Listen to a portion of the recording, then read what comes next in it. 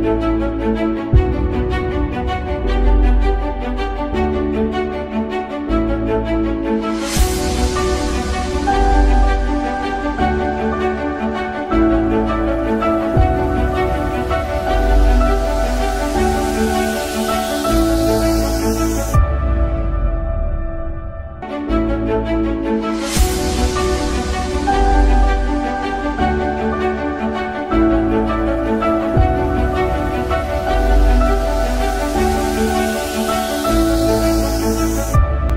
ግብረገብ እና ስነ ምግባር ethics እና ሞራል በፍልስፍና ethics እና ሞራል interchangeable ይጠቀሙበታል። አንዳንድ ቦታ ሞራል፣ አንዳንድ ቦታ ethics እያሉ ይገልጿቸዋል። በፍልስፍና ብዙዎቹ ጸሐፍት ግን slight difference አላቸው። ethics ሲባል የወል የ group የብዙሃን ብዙሃን የሚግባቡበት የሞራል አካል ሲሆን ሞራል ግን የግለሰብ ነው።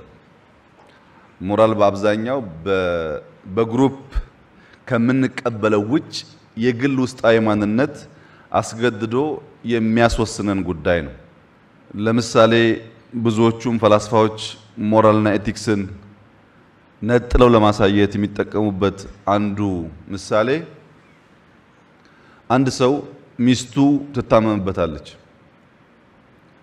ታማበት መድኃኒት መግዣ ገንዘብ አልነበረውም እና ሕክምና ቦታ ሄዶ መድኃኒት ይለምናል። አልሰጡትም። ገንዘብ ስላልነበረው ከለከሉት። ሰውየው ሚስቱ ልትሞትበት ነው። አይኑ እያየ ሚስቴ ከምትሞት ብሎ በሌሊት ፋርማሲ ሄዶ መድኃኒት ሰርቆ ለሚስቱ አምጥቶ ሰጣት። ስርቆት በኤቲክስ ሌብነት የተከለከለ ነገር ነው። መድኃኒትም ይሁን ብርም ይሁን ሌብነት ሌብነት ነው፣ ያስቀጣል፣ ያስጠይቃል እንደምታውቁት። እና የዚህ ሰውዬ ድርጊት ለመቶ ለመቶ ሰዎች questionnaire ተበተነ። ሌብነት ነው፣ ethical አይደለም፣ ጥፋት ነው። ግን ደግሞ ያጠፋው የገፋፋው ኃይል በውስጡ justice ያለው ይመስላል። እንዴት ታዩታላችሁ ሲባል ሰው ሲመልስ ትክክለኛ ነገር ነው ያደረገው የሚሉ ነገሮች pop up አደረጉ በ questionnaire ውስጥ። ያ ስርቆት ethically ትክክል ባይሆንም ሕይወት ለመታደግ የሆነ ነገር ስለሆነ የሰውየው ሞራል ትክክል ነበር የሚል ምላሽ ከብዙዎቹ ተገኘ። እንግዲህ ሞራልና ethics ን ለመለየት የተጠቀሙበት ምንድን ነው? በ ethics ወይም በወል እሳቤ ስርቆት ክልክል ነው። ስርቆት ነውር ነው። ስርቆት ህገወጥነት ነው። የታመመ ለማዳን ስርቆት ሲሆን ግን የሞራል የተወሰነ ልዕልና አለው ማለት ነው። ሞራል የሚባለው እሱ ነው። ጥፋትም ሆኖ ለመልካም ነገር ሲሆን ውስጥህ ለዚህ ጉዳይ ልሙት ብለህ መወሰን። ግብረ ገባዊ ወይም ስነ ምግባራዊ እሴት ለመሪ መላበስ ያለው ፋይዳ የየትኛውም ሀገር ፍላጎት የየትኛውም ህዝብ ፍላጎት በፍላጎት ደረጃ በ intention ደረጃ ለውጥ ነው፣ መሻሻል ነው። ለውጥ የሚያመጡበት መንገድ ቢቀያየርም እኛ ደግሞ ለውጥ የምንፈልግ ለውጥ ምንመራ ሰዎች ነን። የኤቲክስ የሞራል ብቃት ከሌለን ልናሳካው አንችልም ልናሳካው አንችልም። ለምሳሌ የፈረንሳይ አብዮትን ብትወስዱ በጣም ብዙ እንደኛ አይነት የዘር የምናምን ጭቅጭቅ እና ውጊያ የነበረበት በሆነ ዘመን ላይ እሴታችን መቀየር አለብን። የሚያባላን እሴት ካልቀየርን በስተቀረ transformed የምናስባት imagine የምናረጋትን ፈረንሳይ አንፈጥርም ብለው liberty፣ equality፣ fraternity የሚባሉ አዳዲስ እሴቶች አመጡ። ነፃነት ለሁላችን፣ እኩልነት ለሁላችን፣ የወንድማማች ስሜት ለሁላችን፣ በሁላችን ውስጥ ማደር መፈጠር አለበት ብለው አመኑ። ከዚያ ጊዜ ጀምሮ እስካሁን ባለ ሁኔታ የተሻለች ፈረንሳይ መፍጠር የቻለ ከውጊያ የራቀ ማህበረሰብ ፈጥረዋል። እኛ ጣጣችን ብዙ ነው። የሆነ የሚያቀራርብ እሴት ካልገነባን በስተቀረ ኢማጅን የምናረጋትን ኢትዮጵያ መፍጠር አንችልም። ኢማጅን የምናረጋትን ሀገር ለማምጣት በተወሰነ ደረጃ ከፍ ያለ እሴት የጋራ የሆነ ሀገር የሚያጸና ሀገር የሚያሻግር በእያንዳንዳችን አእምሮ ውስጥ ቅድም እንዳነሳሁት ይህን የማደርገው ለመልካም cause ነው ብለን እንድናምን የሚያደርግ ነገር ያስፈልጋል። ሁሉም ሀገር የበለጸገውም የወደቀውም በእሴት በ value መሸርሸር ነው። ሁሉም የኢትዮጵያ 3000 ዓመት ስልጣኔ፣ የግብፅ ስልጣኔ፣ የግሪክ፣ የቻይና የፈለጋችሁት ሀገር ብታዩ የሞራል ground ጠንካራ በነበረበት ሰዓት ሀገራት ይገነባሉ። ሞራል ሲሸረሸር ሀገራት ይወድቃሉ። ማንነት ላይ ጥያቄ ያለው ሰው የመደብ የወል የጋራ ጉዳይ ሊፈታ አይችልም። ማንነኝን ያልመለሰ ሰው እኛ ብሎ ሊመልስ አይችልም። እንደዚህ አይነት የ foundation መሸርሸሮች አሉ። በጣም ብዙ የሚያስፈሩ የቫሊዩስ መራድ ኢሮድድ መሆን ይታያል። ያ አውቶማቲካሊ ማህበረሰብን ይጥላል። መጀመሪያ የሚተጉ የሚሰሩ፣ የሚተባበሩ፣ በኋላ የሚተኙ፣ የሚጠጡ፣ የሚሰክሩ፣ ስራ የማይሰሩ፣ የሚሰርቁ፣ የማይተባበሩ፣ የማይከባበሩ እየሆኑ ሲሄዱ ሀገራት ይወድቃሉ። የሁሉም ሀገር ጅማሮ እንደዛ ነው። በደንብ ይተባበራል እስከ ህይወት መስጠት ድረስ አብሮ ይሰራል። እየወጣ ከሄደ በኋላ እና ግብረ ገባዊነትን ስነ ምግባርን አጀንዳ አድርገን የምናወራው እሱ ላይ የሚያግባባ ጉዳይ ካልፈጠርን በስተቀረ በጣም አስቸጋሪ ነው የምናስበውን ነገር ለማምጣት። ሌብነት ብቻ አይደለም፣ ኮራፕሽን ብቻ አይደለም፣ ብዙ ነገሮች አሉ በሞራል ሊገነቡ የሚገባቸው። እኛ መዋቅራዊ ለውጥን ለማምጣት እያሰብን ለውጥን መሸከም መምራት የሚችል አመራር ለመሆን የ moral intelligence በጣም በጣም ጉልህ ስፍራ የሚሰጠው ነው። moral intelligence በውስጡ ሶስት foundations አሉት፣ ሶስት መሰረቶች አሉት። the three I ይባላሉ። idea፣ individual እና institution።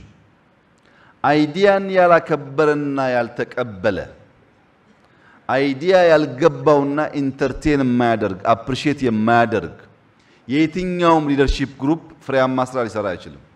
idea በውስጡ intention አለ፣ ፍላጎት አለ፣ እሴት አለ፣ ግብ አለ።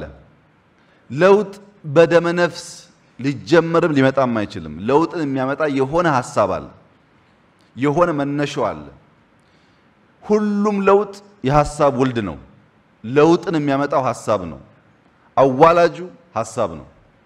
ሀሳብ ላይ ክላሪቲ ከሌለ፣ ሀሳብ ላይ መግባባት ከሌለ በየቀኑ በምናደርጋቸው የተግባር እንቅስቃሴዎች ጥፋት ይከተላሉ። ፍላጎትን ወደ ግብ የሚያደርሰው ፍላጎትን ወደ ስኬት የሚያመጣው የጠራ ሀሳብ ነው። መሰቃየት ያለባችሁ መጀመሪያ የያዝኩት ሀሳብ የጸዳ የሚያታግል የሚያሰራ ነው ወይ? ያ ሀሳብ ካለ ቀጣዩ እርምጃ ቀላል ነው። ምን ማለት ነው? ሀሳብ በብዙ ነገር ሊሸፈን ይችላል። ልክ ወርቅ በአፈር በጭቃ እንደሚሸፈነው በአንድ በኩል ጭቃውን ተጠይፈን ጭቃውን ጠልተን ወርቅ ልናገኝ አንችልም። በሌላ በኩል አፈሩን ጭቃውን ሳናጥብ ወርቅ ልናገኝ አንችልም። ሀሳብ ግርድፍ በሚሆንበት ሰዓት ልክ ወርቅን ከጭቃ ከአፈር ውስጥ እንደምናነጥረው እንደምናወጣው አድካሚ የሚያቆሽሽ process አለው። ያን process አልፈን የጸዳውን ወርቅ የጸዳውን ሀሳብ ከያዝን በኋላ ግን የሙጥኝ ማለት አለብን። በጣም ከፍተኛ ችግር ስላለብን ሀሳብ ላይ። ሁለተኛው individuals ናቸው፣ ግለሰቦች። ግለሰብ ሀሳብ አመንጪ ነው። ሀሳብ ተግባሪ ነው። ሀሳብ አሸጋጋሪ ነው። idea ብለህ የምታኖርበት ዕቃ ካላበጀህ ካልመረጥክ ከንቱ ነው። ሰው ገንዘብ ለማስቀመጥ የገዛ ቤቱ መኝታ ክፍሉ ገብቶ ዝም ብሎ አልጋ ላይ ወንበር ላይ አያስቀምጥም። የሆነ ነገር ከፍቶ ብር አስቀምጦ ይቆልፋል። የራሱ መኝታ ቤት ባንክም ሲሆን ይመርጣል። ሁሉ ባንክ እኩል አይደለም ብር ለማስቀመጥ። ሰውም ጋር ሲያስቀምጥ ይመርጣል። ትልቅ ሰው የማያጭበረብረኝ ይላል አማና ሲያስቀምጥ። ገንዘብ እንኳን ቦታ መርጠህ ተጠንቅቀህ ታስቀምጣለህ። idea ም እንደሱ ነው። ካለ ቦታው ከበተንከው ፍሬያማ አይሆንም፣ ይጠፋል። ቦታ ያስፈልገዋል፣ ሰው ያስፈልገዋል። በደንብ entertain የሚያደርግ appreciate የሚያደርግ የሚያስተላልፍ የሚተገብር ሰው ይፈልጋል። ሀሳብ አንዲት ወጣት ሴት ባል ታገባና ብዙም ሳይቆያ ባሏ ወታደር ነበር። ወደ ሌላ ስፍራ ይላካል። ጀማሪ ሙሽሮች ናቸው።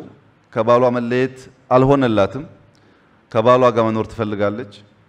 ተነስታ ባል ያለበት ስፍራ ነው የሚሄደው ብላ ስትሄድ ባሏ ያለበት አካባቢ ለኑሮ በሷ ሀሳቤ ምቹ አይደለም። ሞቃታማ ነው፣ በረሃማ ነው፣ ከከተማ ራቅ ያለ ነው። የአኗኗር ዘዬው፣ ባህሉ፣ ቋንቋው ብዙ ጉዳይ ተቀያየረባት እና በሞራል ሮጣ ሄደችና ስትደርስ ከበዳትና ለእናቷ ደብዳቤ ጻፈች።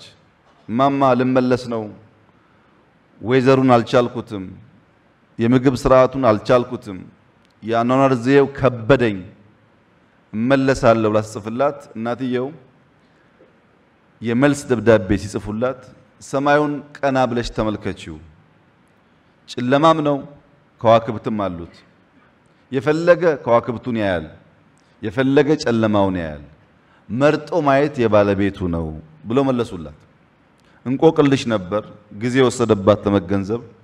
እንዳሉትም ሰማዩን ስታይ ጨለማም አለ፣ ከጨለማ ውስጥ ደግሞ የሚወጣ ውብ ብርሃን አለ። ይሄን የፈታች ልጅ መመለስ ትታ እዛ አካባቢ ያየችውን አኗኗር ዘዬ የሰውን ባህል በሚመለከት መጽሐፍ ጀመረች። ልጅቱ ውስጥ ለካ የመጽሐፍ ብቃት አለ።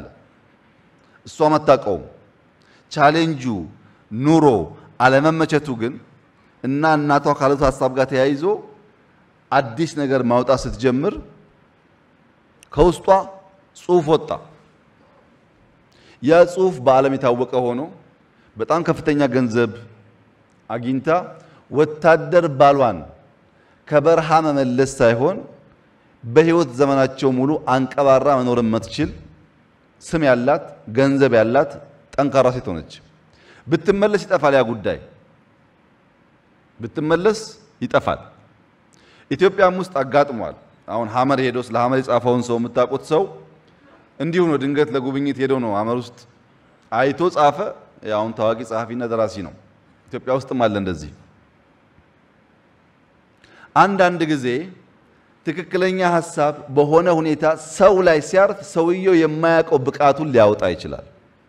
ልክ እንደዚህ ሴት ግን ያ ትክክለኛ ሰውና ሀሳብ መገናኘት አለባቸው። ያ ሲሆን በጣም ብዙ ሰው ከውስጡ ሊወጣ ይችላል።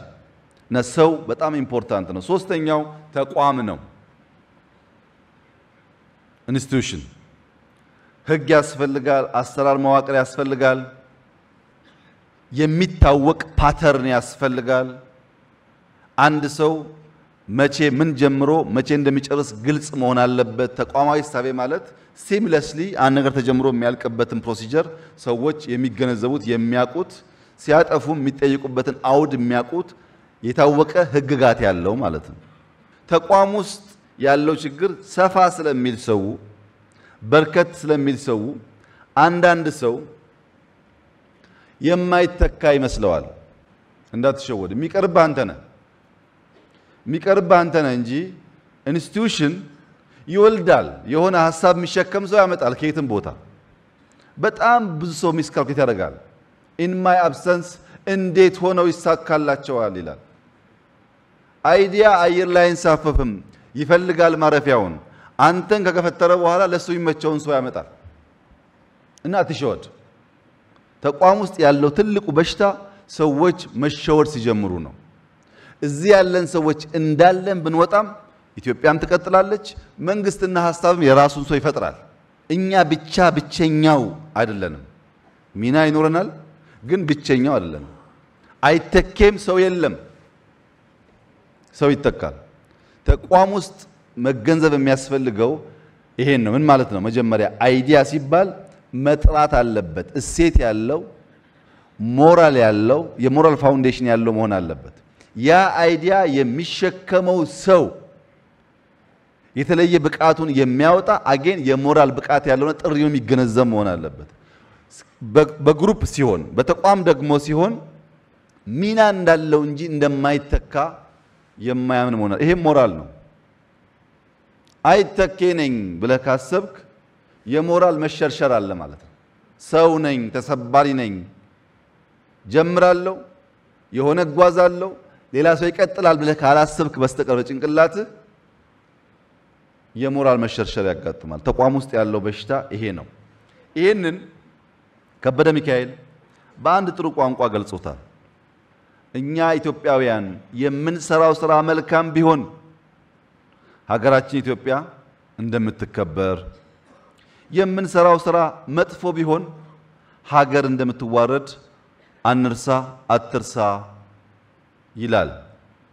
የእያንዳንዳችን የሥራ ድምር ኢትዮጵያን የሚያስከብር የሚያሻሽል፣ የእያንዳንዳችን ጥፋት ተሰናስቶ ተደምሮ ደግሞ ኢትዮጵያን የሚያዋርድ ዝቅ የሚያደርግ እንደሆነ እያንዳንዱ ግለሰብ ማመን አለበት።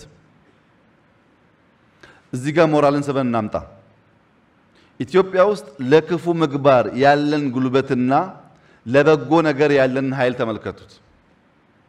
አንድ መልካም ነገር ስናይ ለማገዝ አብረን ለመቆም ያለን አቅምና ለጥፋት ያለን አቅም በጣም በጣም የተራራቀ ነው።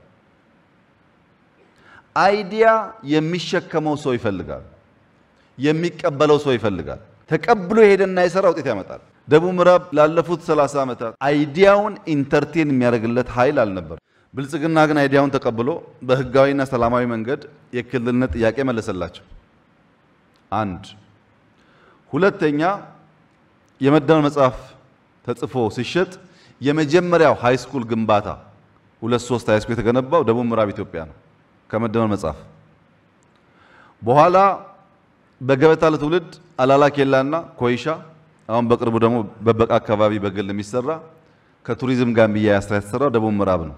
የጎደለህን ደግሞ በራስ አቅምና በሌሎች ወንድሞች ህብረት የምትመልስ መሆኑን ማሰብ አለበት። internalize ማድረግ የሚገባን inside out ማየት የሚገቡን በጣም በርካታ ጉዳዮች አሉ። ደቡብ ምዕራብ ባለፉት አምስት ዓመታት በትግሉ በልጆቹ ጥረት ያገኛቸውን ድሎች ቆጥሮ የሚገነዘብ የሚጎለውን የሚያቅ የሚጎለው የሚጠይቅበት የሚገነዘብ ከሆነ ያድጋል። ይሄ ለኦሮሚያም፣ ለአማራም፣ ለትግሬም ለሁሉም ይሰራል። ለምሳሌ ሶማሌ ክልል ከሙስጠፋ በፊት በጣም ብዙ ስቃይ ያለበት፣ ግጭት ያለበት፣ ጦርነት ያለበት፣ ኮንትሮባንድ ያለበት፣ ምንም አይነት የልማት ስራ የማይታሰብበት አካባቢ ነበር። አሁን ባለፉት ሶስት አራት ዓመታት ቢያንስ ቢያንስ ጅጅጋ ላይ ማንም ሰው የሚያየው የሚዳስሰው የልማት ለውጥ አለ። ባለፉት ሶስት አራት ዓመታት የተሰሩ መንገዶች 30 40 ዓመት 50 ዓመት አልነበረም። ሶማሌ ውስጥ ሰላም አለው። infrastructure እየገነባ ነው። ለመጀመሪያ ጊዜ ስንዴ አርሶ ያው ብዙዎቻችን በጋራ አይተናል። አሉ የሚጨበጡ change ኦች የሚታዩ እነሱን ይዞ የትግሌ ውጤት ናቸው ብሎ የጎደለውን ለመሙላት aspire የሚያደርግ ክልል ከሆነ በጣም ትልቅ አቅም አለው፣ ያድጋል። ለሌሎቻችሁም ይሰራል። ይሄ ምንድን ነው በትግላችን ያገኘነው? ምን ጎደለን? እንዴት እንመልሰዋለን ብለን ቆም ብለን ካላየን ጠያቂ ብቻ ከሆን ያው ቋቱ የምናውቀው ስለሆነ በጥያቄ ብቻ ይመጣ መልስ የለም። እያንዳንዱ ጥያቄ የተስተካከለ ሲሆን በቀደም እንዳነሳሁት ግማሽ መንገድ ለመልስ የተመቻቸ ይሆናል። moral intelligence ብቻውን ስላልሆነ ጥቂት ገባ ብለን intelligence ኦች ደግሞ any intelligence በጥቅሉ በጥቅሉ እውቀትን የማግኘት እውቀትን የመረዳት እውቀትን በስራ የማዋል ውጤታማ የመሆን በአዳዲስ ሁኔታዎች በማይመቹ ሁኔታዎች ውስጥ የተለያየ intelligence part በመጠቀም ውጤታማ ለመሆን የሚያግዙ ነገሮች ናቸው። እነዚህ intelligence ኦች በብዙዎቻችን ውስጥ አሉ። ግን በስም ለይተን በተግባር ለይተን ለመጠቀም ውስንነቶች አሉ ውስንነቶች አሉ። ምን ምንድን ናቸው እነዚህ intelligence ኦች ከተባለ አንደኛው ብዙ ጊዜ IQ ወይም cognitive intelligence ወይም intelligence quotient የሚባለው ትንተናዊ አስተውሎ ያለበት የመቀመር፣ የመተንተን፣ የመፍታት intelligence ነው።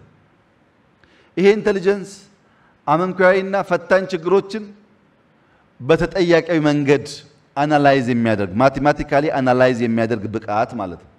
ኢትዮጵያ ውስጥ IQ ወይም cognitive intelligence more than its fair share የወሰደ ነው። የሰው ሁሉ ብቃት መለኪያ ትምህርት ስርዓታችን የሚለካው IQ ብቻ ነው። እኛ እንኳን ሰው ስንቀጥር 3.6 ነው ያለው፣ four ነው ያለው፣ 3.8 GPA ያለው። መለኪያችን IQ ነው። Mister X 3.6 3.8 GPA ኖሮት ከሰው ጋር የማይግባባ ከሆነ በተቋም ውስጥ በ team ስራ ውስጥ አያግዘንም። ውጤቱንና emotional intelligence ኡን አናይም። አብዛኛው ነገራችን የያዘው ይሄኛው ነው። በትምህርት ስርዓታችንም በምዘና ስርዓታችንም ሰው የምንለይበት መንገድ IQ ብቻ ነው። IQ ብቻ የመዘኑ ሀገራት አይበለጽጉም። because ሁሉም intelligence ኦች ስራ ላይ መዋል ስላለባቸው ይሄ የሚገባውን share መያዝ ያለበት እንጂ ጠቅሎ ሁሉም መያዝ ያለበት የ intelligence አይነት አይደለም። በጣም important intelligence ነው። analyze መደረግ ያለባቸው arithmetically መታየት ያለባቸው ጉዳዮች አሉ። logically መታየት ያለባቸው ጉዳዮች አሉ። ነገር ግን ሁሉ ነገር በእነሱ ውስጥ ብቻ የሚታይ ከሆነ በጣም ብዙ ቦታ fail እናደርጋለን። ሁለተኛው እስካሁን ቦታ ያልነበረው ወደፊት ጊዜ ካለ የምናየው የቋንቋ አስተውሎት linguistic intelligence የሚባለው ነው። ቋንቋን ማወቅ፣ ቋንቋን ማርቀቅ፣ ቋንቋን መጠቀም ራሱን የቻለ intelligence ነው። አንዳንድ ሰው ሀሳቡን በንግግር አይገልጽም፣ በግጥም ይገልጻል። እዚህ ውስጥ አስር ሰዎች ገጣሚዎች ይኖራሉ። አንዳንድ ሰው ሀሳቡን በግጥም አይገልጽም፣ ግን በጽሁፍ አምስት ገጽ አስር ገጽ አድርጎ በሚያስደንቅ ጽሁፍ ሀሳቡን ስዕላዊ አድርጎ ይገልጻል። አንዳንድ ሰው መጻፍ ይቸገራል፣ በንግግር ሀሳቡን አሳምሮ ይገልጻል። ችሎታ ነው፣ intelligence ነው። ሁሉ ሰው እኩል ተናግሮ አያሳምንም፣ እኩል ጽፎ አያስረዳም። ይሄን intelligence ተቋም ስንገነባ ማወቅ ያስፈልጋል። አንዳንዶች ጸሐፊዎች፣ አንዳንዶች ተናጋሪዎች፣ አንዳንዶች ተንታኞች፣ አንዳንዶች emotionally intelligent የሆኑ ሰዎች ያስፈልጋሉ። ይሄን ደምረን ተቋም እንገነባው። ሶስተኛው intelligence ምስለ ትስስራዊ አስተውሎት ወይም three dimensional intelligence ወይም spatial intelligence የሚባለው ነው። three dimensional intelligence በጣም important የሆነ የብቃት ዘርፍ ነው። ለምሳሌ የዛሬ 20 30 ዓመት ኮምፒውተር ሳይኖር digital screen ሳይኖር አንድ ፓይለት ከአዲስ አበባ አንስቷችሁ 7 ሰዓት 8 ሰዓት በሮ ወረቀት እየዳበሰና እያነበበ ብቻ ቻይና ሲያወርዳችሁ አይገርማችሁ? እንዴት ነው ሰው ወረቀት እያየ ከአዲስ አበባ ቻይና ድረስ የሚሄደው? ለብዙዎቻችን ከባድ እውቀት ነው። ለፓይለቶች ግን ፓይለት የሆነ ሰው ያ ብቃት ያለው ሰው ያ ትምህርት ያለው ሰው ያንን ካርታ በ three dimensional አስቦ ከየት ተነስቶ የት እንደሚያርፍ አውቆ ነው የሚሄደው። ልዩ ብቃት ነው። ሁሉም ሰው ያለው ብቃት አይደለም።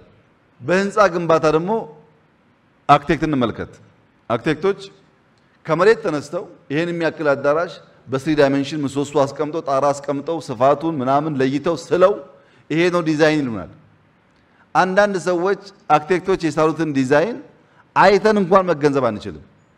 ከመሳላቸው ደግሞ በየቦታው አስቀምጠው ቁጭ አርጉታል። ስዕሉን ሰርተው ያሳዩናል።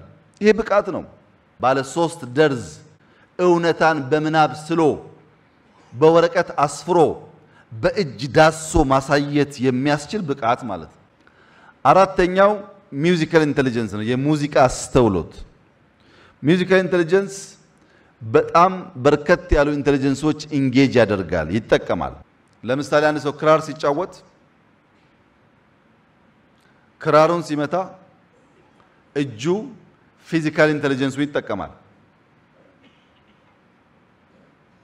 ግን ክራር መቃኘቱን እየመታ ይሰማና ቅኝት ያስተካክላል። እየመታ physically የመስማትም አቅም አለው ማለት ነው። ከዛ እየመታ ከተስተካከለ በኋላ እየሰማ በዛ ያበቃም፣ ይዘፍናል በአፉ በአይኑ audience ያያል፣ ሲያሻው ይጨፍራል። at a time የመስማት የማየት የመናገር የመንካት በርከት ያሉ አካል ብቃቱን የሚያንቀሳቅሱ እና አእምሮን የሚያሰሩ ተግባራት ይፈጽማል። ይህ intelligence በጣም በጣም important ነው። አሁን በምናሰራቸው KG ትምህርት ቤቶች elementary schools መዘንጋት የሌለበት የስፖርት፣ የሙዚቃ፣ የእርሻ አይነት department ኦች ናቸው። ብዙዎቻችሁ ትምህርት ቤትና library ትሰራላችሁ። ቆንጆ ነው፣ አስፈላጊ ነው፣ ግን በቂ አይደለም። ልጆች የሙዚቃ ሙዚቃ ሲባል በየእምነቱ ሊሆን ይችላል፣ ችግር አይደለም። ዓለማዊ ብቻ ማለት አይደለም። ዋናው ግን ራስን በብዙ intelligence የማናገር ብቃት ማሳደግ ያስፈልጋል። ያ የልጆችን የማሰብ የመማር አቅም በእጅጉ ይከፍታል። ሆን ብላችሁ ልጆቻችሁን ሙዚቃ መሳሪያ ወይ ክራር ወይ ጊታር ወይ ፒያኖ እንዲለማመዱ አድርጓቸው። ጥቅም አለው። በጣም የሚያስፈልጋቸው የአስተውሎት ልክ ነው። ብዙዎቹን ብቃት አላቸው። ሕፃናት ከሞከሩ ቶሎ ይማራሉ። ያግዛቸዋል ወደፊት ህይወታቸው ስኬት።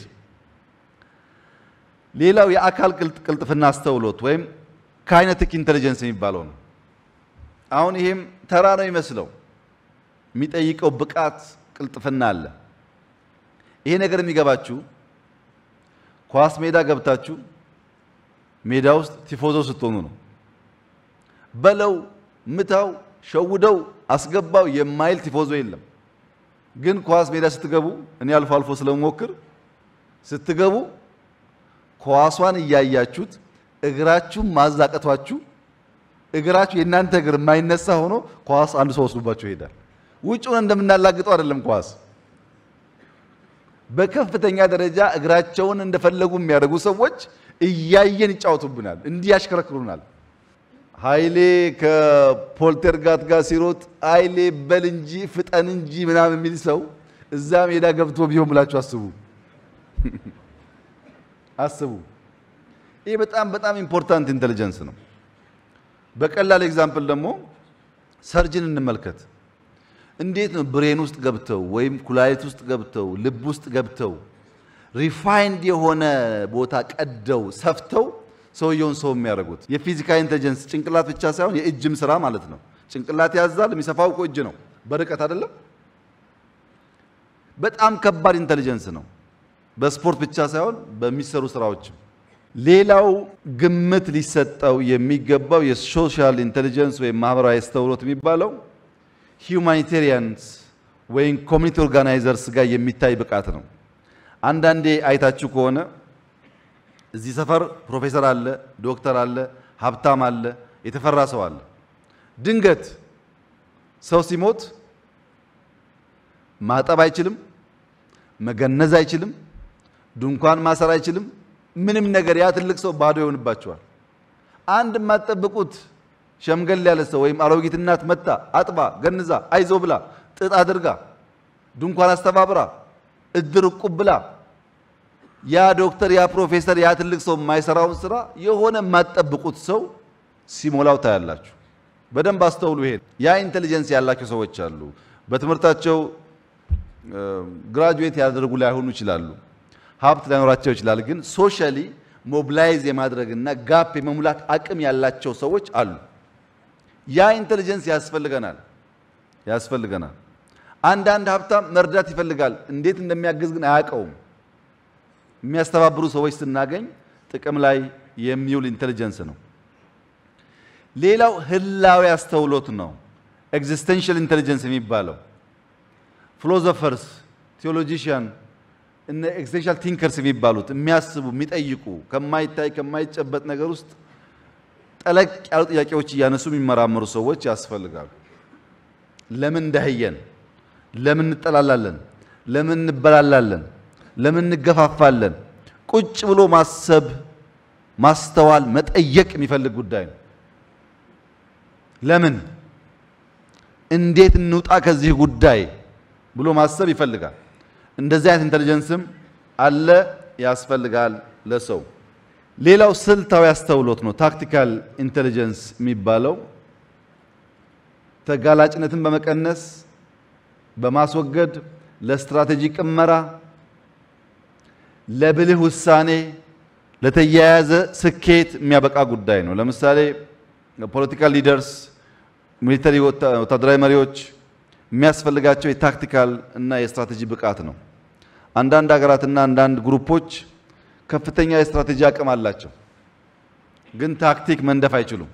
አሉ። እኛ ውስጥ ራሱ እኛ ሀገር ውስጥ አሉ። ስትራቴጂ መንደፍ የሚችሉ ታክቲክ መንደፍ ስለማይችሉ ታክቲክ ስትራቴጂን መጋቢ ስለሆነ በየጊዜው የሚነደፍ ስለሆነ ያ ከሌለ ስትራቴጂ ቁልጭ ብሎ ይታያል፣ አይተገበርም።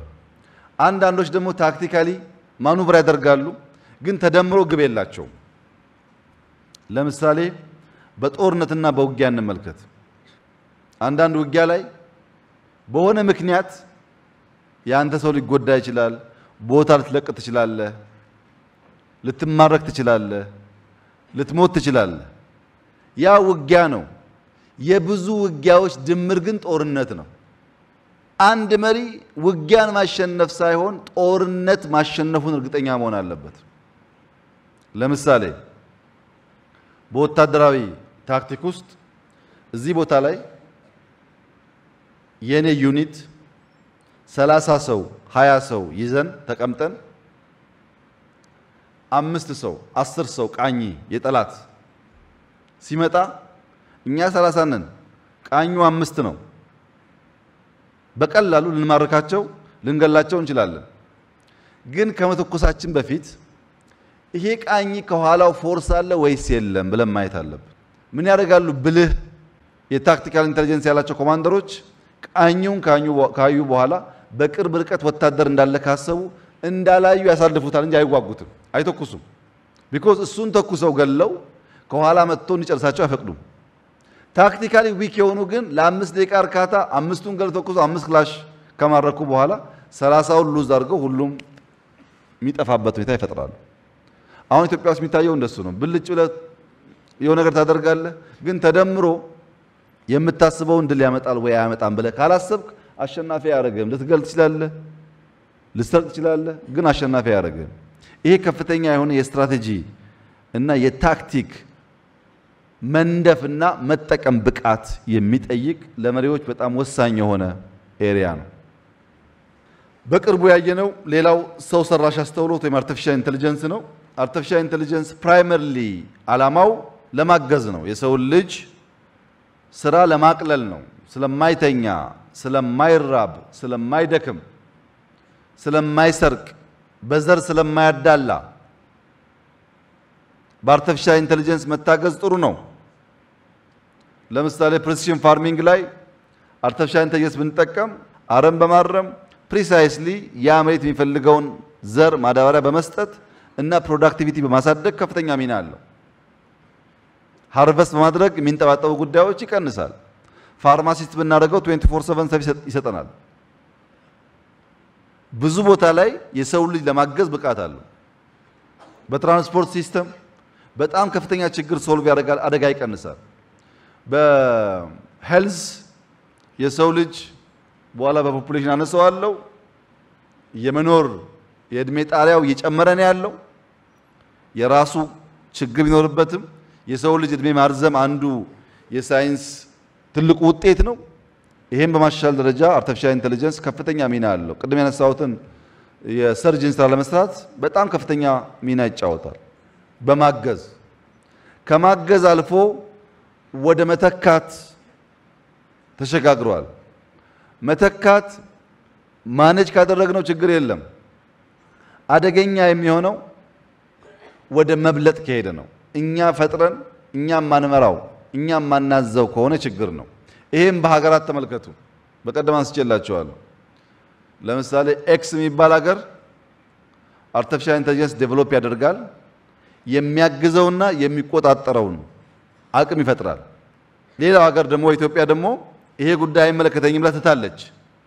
ያ ሀገር ሲፈልግ እንደ ወታደር፣ ሲፈልግ እንደ ዶክተር፣ ሲፈልግ እንደ አስተማሪ፣ ሲፈልግ እንደፈለገው ነገር እየላከ ያንን የ artificial intelligence tool either virtually or physically በአካል ሊሆን ይችላል ወይም በ remote ሊሆን ይችላል።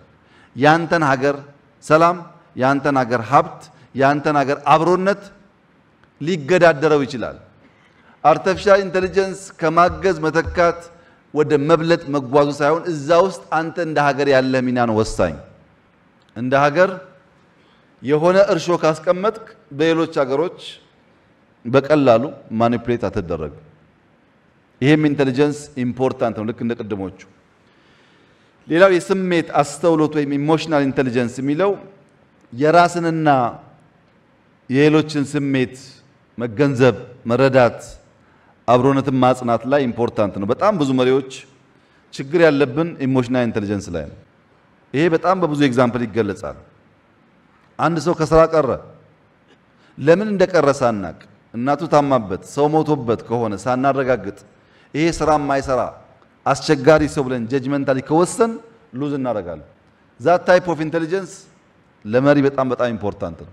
የምናዝን፣ የምንረዳ፣ የምንገነዘብ ከውሳኔ በፊት እነዚህ ነገሮች የምናይ መሆን ያስፈልገናል። የሥነ ምግባር አስተውሎት የ moral intelligence ቅድም እንዳየናቸው intelligence ኦች ሁሉ በጣም important ና አስፈላጊ intelligence ነው። ስነ ምግባር ማለት ሰው የመሆን ግብር ማለት ነው። ሰው የሚያሰኝን ማንነት lose እንዳላደርግ ያደርገኛል። መጀመሪያ በተቋም ውስጥ ደግሞ በተቋሙ ማህበራት ውስጥ በትክክለኛ ሚናው የሚገነዘብና ሌላውን የማያውቅ ሰው ያደርገኛል። መሪ ደግሞ ሲሆን ከዛ ይሻገራል። አንዳንድ ሰዎች በተፈጥሮ strong የሆነ የ moral values ያላቸው ሰዎች አሉ። ጠንካራ የሆነ moral values ያላቸው ለምሳሌ አልሰርቅም ብለው ሰው ኖረ አልኖረ እኔ ያየኛል ፈጣሪ ብሎ የማይሰርቁ ሰዎች አሉ። በመዋሸትም በሌላውም ነገር እንደዚሁ። ያ strong personality ለአመራር በጣም በጣም ያስፈልጋል። ሰናይ የሆነን ተግባር ከእኩይ ተግባር የመለየት አቅም፣ መጥፎን ከጥሩ የመለየት አቅም፣ የተዘነጋ ዋጋ የማይሰጠው ነገር ግን ከሌለ ሁሉን ይዞ የሚጠፋው moral intelligence ነው። አንተ የፈለገ IQ ከፍተኛ ቁጥር የሚሰጠው ቢሆን በሙዚቃው በፊዚካሉ በጣም የዳበርክ በሆነ ሞራሊ ግን ፋውንዴሽን የሌለ ከሆንክ ቤተሰብ አይኖርህም፣ ጓደኛ አይኖርህም፣ ወይም ከሰው ጋር ለማኖር የሚያስችል ብቃት አይኖርህም። ችሎታ እኮ አለው ግን ባህሪው ግን እንደው እየተባለ የማያግባባ ሰው ነው የሚሆነው።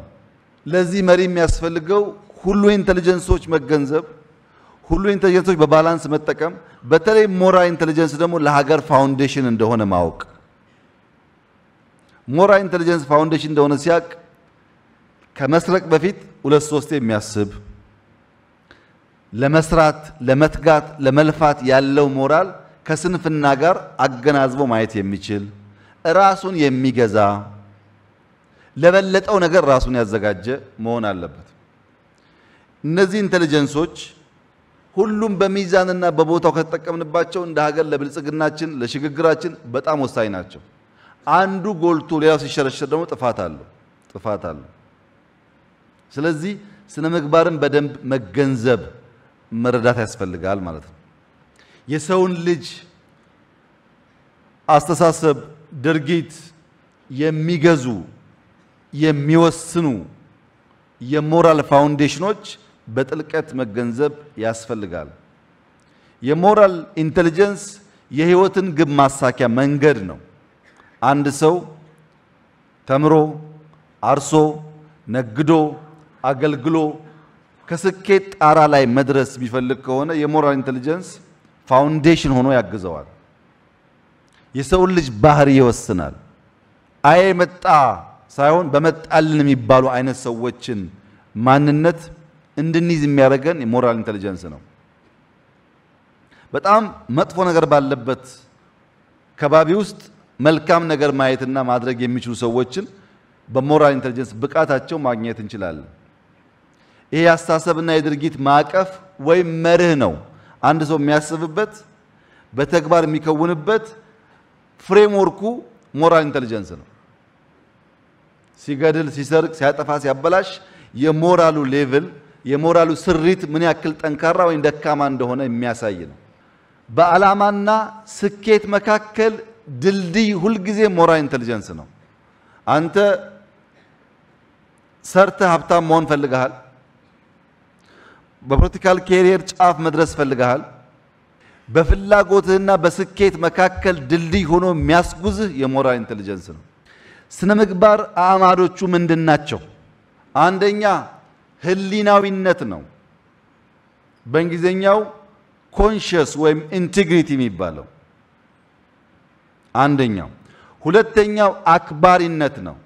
respect፣ tolerance፣ empathy፣ sympathy፣ compassion የሚባሉት ማዘን፣ መራራት፣ በፍቅር አይን ማየት፣ በመውደድ አይን ማየት ያስፈልጋል። ሶስተኛው ለጋስነት ነው፣ ቸርነት፣ kindness። kind መሆን ብቻ አይደለም፣ ውስጡ compassion ያስፈልገዋል፣ generosity። አራተኛው ኃላፊነት ነው፣ self control responsibility። ለምታደርገው ማንኛውም ነገር በምድርም በሰማይም ተጠያቂ እሆናለሁ ብለህ ማሰብ። ስድስተኛው ርትዓዊነት ነው፣ fairness forgiveness ይቅር ማለት የሰው ልጅ ይቅር ካላለ ካልወደደ ለጋስ ካልሆነ አዛኝ ካልሆነ እንኳን እንደ ሀገር እንኳን እንደ ፓርቲ እንደ ቤተሰብ ከባድ ነው ከባድ ነው። አንድ የሞራል ኢንቴሊጀንሱ እየዳበረ ያለ ሰው እንደ አዕማድ መያዝ ያለበት እነዚህን አምስት ጉዳዮች ነው። ይሄን ለማድረግ የሰው ልጅ አቅም አለው ወይ ያላችሁ እንደሆን፣ አዎ አለው። የሰው ልጅ ስሜት አለው። የሰው ልጅ አእምሮ አለው። የሰው ልጅ ፍቃድ አለው። የሰው ልጅ እነዚህን ብቃቶች ቅድም እንዳየናቸው intelligence ኦች አስተካክሎ በልክ መጠቀም ሲቸገር ነው የሚጠፋው። ምን ማለት ነው? አንዳንዴ ስሜት ይጎላና ወይ ይሳደባል፣ ወይ ያለቅሳል፣ ወይ ያኮርፋል። ስሜት dominate ሲያደርግ ምክንያት ቦታ ሲያጣ የሰው ልጅ reaction ጥፋት ሊያስከትል ይችላል። ዘሎ በጥፊ የሚማታው ከተማታው በኋላ ይቅርታ የሚጠይቀው ሰው በዚያ moment emotion ወይም ስሜት ሰውየውን ስለገዛው ነው። ቆም ብሎ አስተውሎ አስቦ እንዳይወስን ያኛው part ኡ ገኖ ስለወጣ አንዳንዴ ደግሞ አእምሮ emotion የሚባል ነገር፣ sympathy የሚባል ነገር፣ መራራት የሚባል አጥፍቶ ሁሉ በሂሳብ ሰርቋል፣ እጁ ይቆረጥ፣ ተሳድቧል፣ ይታሰር ወደሚል ደግሞ ከሄድን እንዳልኩት ቅድም አብሮነትን ያናጋል። ሰው በስሜቱ የተለማመደውን በ emotion የተለማመደውን በአእምሮ analyze ያደረገውን በፈቃዱ መርጦ የሚወስን መሆን አለበት። የተለማመደውን analyze ያደረገውን መርጦ መወሰን የማይችል ከሆነ either አእምሮ or emotion ኡ governing power ኖሯቸው ገዢ ሆነው በዚያ moment የሚወስኑ ከሆነ ሊገል ይችላል። ሰው እኮ ገሎ ደስ አይለውም። ከገደለ በኋላ ፖሊስ ጣቢያ ሄዶ ሰው ገድያለው ይላል፣ ይጠፋል፣ ያለቅሳል፣ ያዝናል። ያችን moment ያችን ቅጽበታዊ የስሜት ጊዜ ሊቆጣጠር ባለመቻሉ የሚያጠፋ ሰው በጣም ብዙ ነው። በኋላ ይቆጫል። ያን አይቶ ይቅር ማለት ያን አይቶ ወደ መስመር መመለስ ደግሞ እንደገና የስሜት አእምሮ ፈቃድ ውህድ ብቃትን መጠቀም ይጠይቃል። ሁላችን ውስጥ ስሜት አለ። ሁላችን ውስጥ አእምሮ አለ የሚያስብ። ሁላችን ውስጥ ፈቃድ አለ። እንዴት ነው አሰላስለን የምንጠቀምበት? አንዳንድ ሰው በተፈጥሮ strong will አለው። እየነገርከው ይቸገራል፣ resist ያደርጋል። አንዳንድ ሰው በተፈጥሮ weak will አለው። በቃ የፈለገ ሰው ይጎትተዋል። ይሄንን balance ለማድረግ በእውቀት በ moral intelligence ማደግ ይፈልጋል። ስትከተልም እምቢ ስትልም ምክንያት ያለህ መሆኑን ማረጋገጥ ይፈልጋል። ይሄ አቅም ወደ ፍቃድ ወደ ባለቤቱ ውሳኔ የባለቤቱ የፍቃድ የውሳኔ እና የእርምጃ ውጤት ለመሆኑ ለመሆኑ ስድስት ጉዳዮች ይነሳሉ። ሁለቱም ባህሪያት በሰው ውስጥ አሉ። አንደኛው መቆርቆር ነው። እዚያው ተቃራኒው መጉዳት ነው።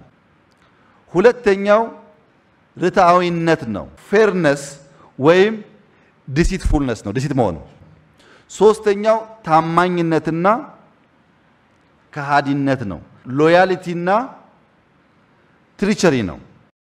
አራተኛው ስርዓተኝነትና ስርዓት አልበኝነት ነው። hierarchy ና anarchy ነው። ሰው ፓርቲ ውስጥ ስርዓት አለ፣ ሀገር ውስጥ ስርዓት አለ። እነዛ ስርዓት የማይጠበቁ ከሆነ orderly የማይሄዱ ከሆነ ፓርቲ ሀገር የሚባል ልማት የሚባል አይመጣም። ስርዓት ያስፈልጋል። anarchy ለየትኛውም ሀገር እድገት ጸር ነው ጸር ነው። አምስተኛው ክቡርነት እና ክቡር አለመሆን sanctity ና ዲፕሬቪት መሆን ማለት ነው። በስብዕና በሰውነት የተከበርክ፣ በባልነት የተከበርክ፣ በፕሬዝዳንት የተከበርክ ወይም በወንድነት የተከበርክ ሊሆን ይችላል። ኦፖዚቱ ግን ከዛ የተከበረ ማለት ዲፕሬቪት ያደረገ የወረደ ማለት ነው። ስድስተኛው ነፃነትና ጨቋኝነት ሊሆን ይችላል። ሊበርቲ ወይም ቲረኒ ሊሆን ይችላል። እነዚህ ሁሉ element ኦች በእኛ ውስጥ አሉ። ይሄንን ነው ሰው ልጅ ራሱ መርጦ በበጎነትና በእኩይነት መካከል ያለ difference አውቆ ተፈጥሯዊ መልካምነትን ተላብሶት ሳይጥል ይዞት ለዚያ መልካምነት የሚተጋና የሚሰራ እንዲሆን moral intelligence ላይ በስፋት መስራት ይፈልጋል። moral intelligence ላይ ያልሰራ ሰው በቀላሉ ይገላል፣ በቀላሉ ይሰርቃል፣ በቀላሉ ያወድማል። ቆም ብሎ ሞራሉን መጠቀም በጎ ማንነቱን መጠቀም ይቸገራል። በቀላል ምሳሌ ለማየት ከዚህ ቀደም እንደሰማ ነው የዚህ ጫጩት metaphor አንድ በሰፈር ውስጥ ተለቅ ያለ ሰው አዋቂ ሰው የሚጠየቀውን ጥያቄ ሁሉ የሚመልስ እና የሆኑ ወጣቶች ዛሬ እናሳስተው መልሱ ትክክል አይሁን ብለው ወስነው ወፍ በእጃቸው ይዘው ሄደው ሰውየውን ሕይወት አላት ወይም የላትም ብለን እንጠይቀዋለን። ሕይወት አላት ካለን አፍነን ገለን ዋሽታል እንለዋለን። ሕይወት የላትም ካለን ለቀን ሕይወት አላት ዋሽታል እንላለን። ዋናው ነገር ያላወቀ መሆኑን የዋሸ መሆኑን የሳተ መሆኑን በተግባር prove እናደርጋለን ብለው ነው ሰውየው ጋር ሄዱት እና ሰውየውን ሲጠይቁት ሕይወቷም ሞቷም በእጅህ ነው ያለው ብሎ መለሰላቸው ይባላል። ከፈለክ ልቀቃትና ሕይወት አላት፣ ከፈለክ ካፈናትና ግደላት አለ ይባላል። እኔ ግን ዛሬ የምፈልገው እሱን አይደለም። እኔ ግን የምፈልገው አንድ ሰው ወፏን ጨምቆ ለመግደል አፍኖ ለመግደል የሚያወጣው energy ና ወፏን ለቆ በህይወት እንድትኖር ለማድረግ የሚያወጣው energy እኩል አይደለም። ለመግደል ብዙ ጉልበት ይጠፋል። ለመልቀቅ ቀላል ነው።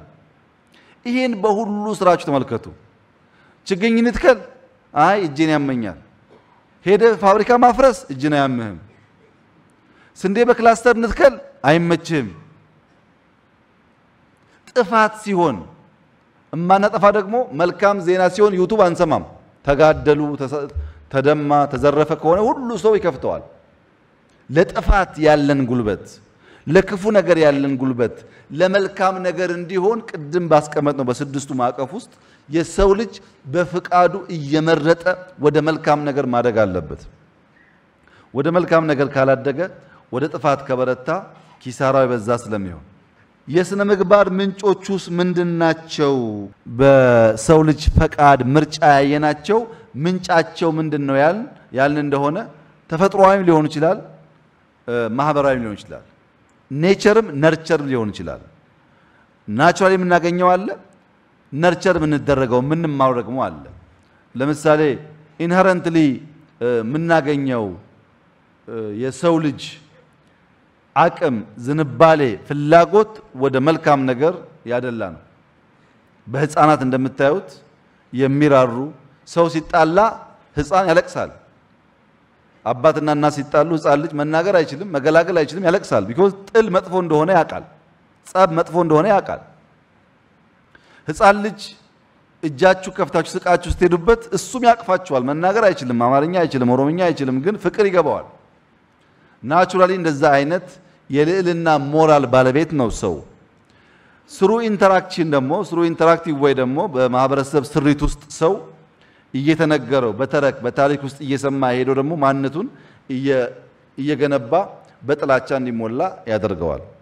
በኔቸርም በነርቸርም ሊገኝ ይችላል የ moral intelligence ግንባታ ማለት ነው። ይሄንን በውስጣችን መልካምነትና መጥፎነት፣ ደግነትና ክፋት፣ ፍቅርና ጥላቻ በውስጥ በእያንዳንዳችን ውስጥ አለ፣ ጨለማም ብርሃንም። more ጎልቶ የሚወጣው እናንተ more የመገባችሁት ነው። በየቀኑ ስድብ፣ በየቀኑ ጸብ፣ በየቀኑ ግጭት የምትሰሙ ከሆነ ውስጣችሁ የሚመገበው ያንን ጥላቻ ነው። በየቀኑ መልካም ነገር የሚመገብ ከመልካም ሰዎች ጋር የሚውል መልካም ዜና የሚሰማ ሰው ግድያን ሊያስብ አይችልም። ሰው የመገበው የውስጡ ማንነት more ጎልቶና በቅሎ አድጎ ወይ ያለማል ወይ ያጠፋል። አሁን ጥንቃቄ የሚያስፈልገው ሁሉም ሰው መልካምነት በውስጡ አለ። አንዳንድ ክፉ ሰዎች በማጥፋት ወደ ጥፋት ሊወስዱን ሲሉ መልካምነት ያለን ሰዎች ያ ስብዕናችን እንዳይጠፋ መጠበቅ መታደግ አለብን። መፍቀድ የለብንም። የእነሱ መጥፎነት የእኛም መልካምነት ይዞት እንዲሄድ መፍቀድ የለብንም። መጠበቅ አለብን። እያንዳንዱ ሰው መልካምነት ቢመግብ ለራሱ ተጠቃሚ ይሆናል። ምን ክፍሎች ናቸው ያሉት? ይህ ምንጭ በውስጡ ምን ምን ክፍል አለው ያላችሁ እንደሆነ አንደኛ ethical awareness አለ። recognize የሚደረግ awareness አለ።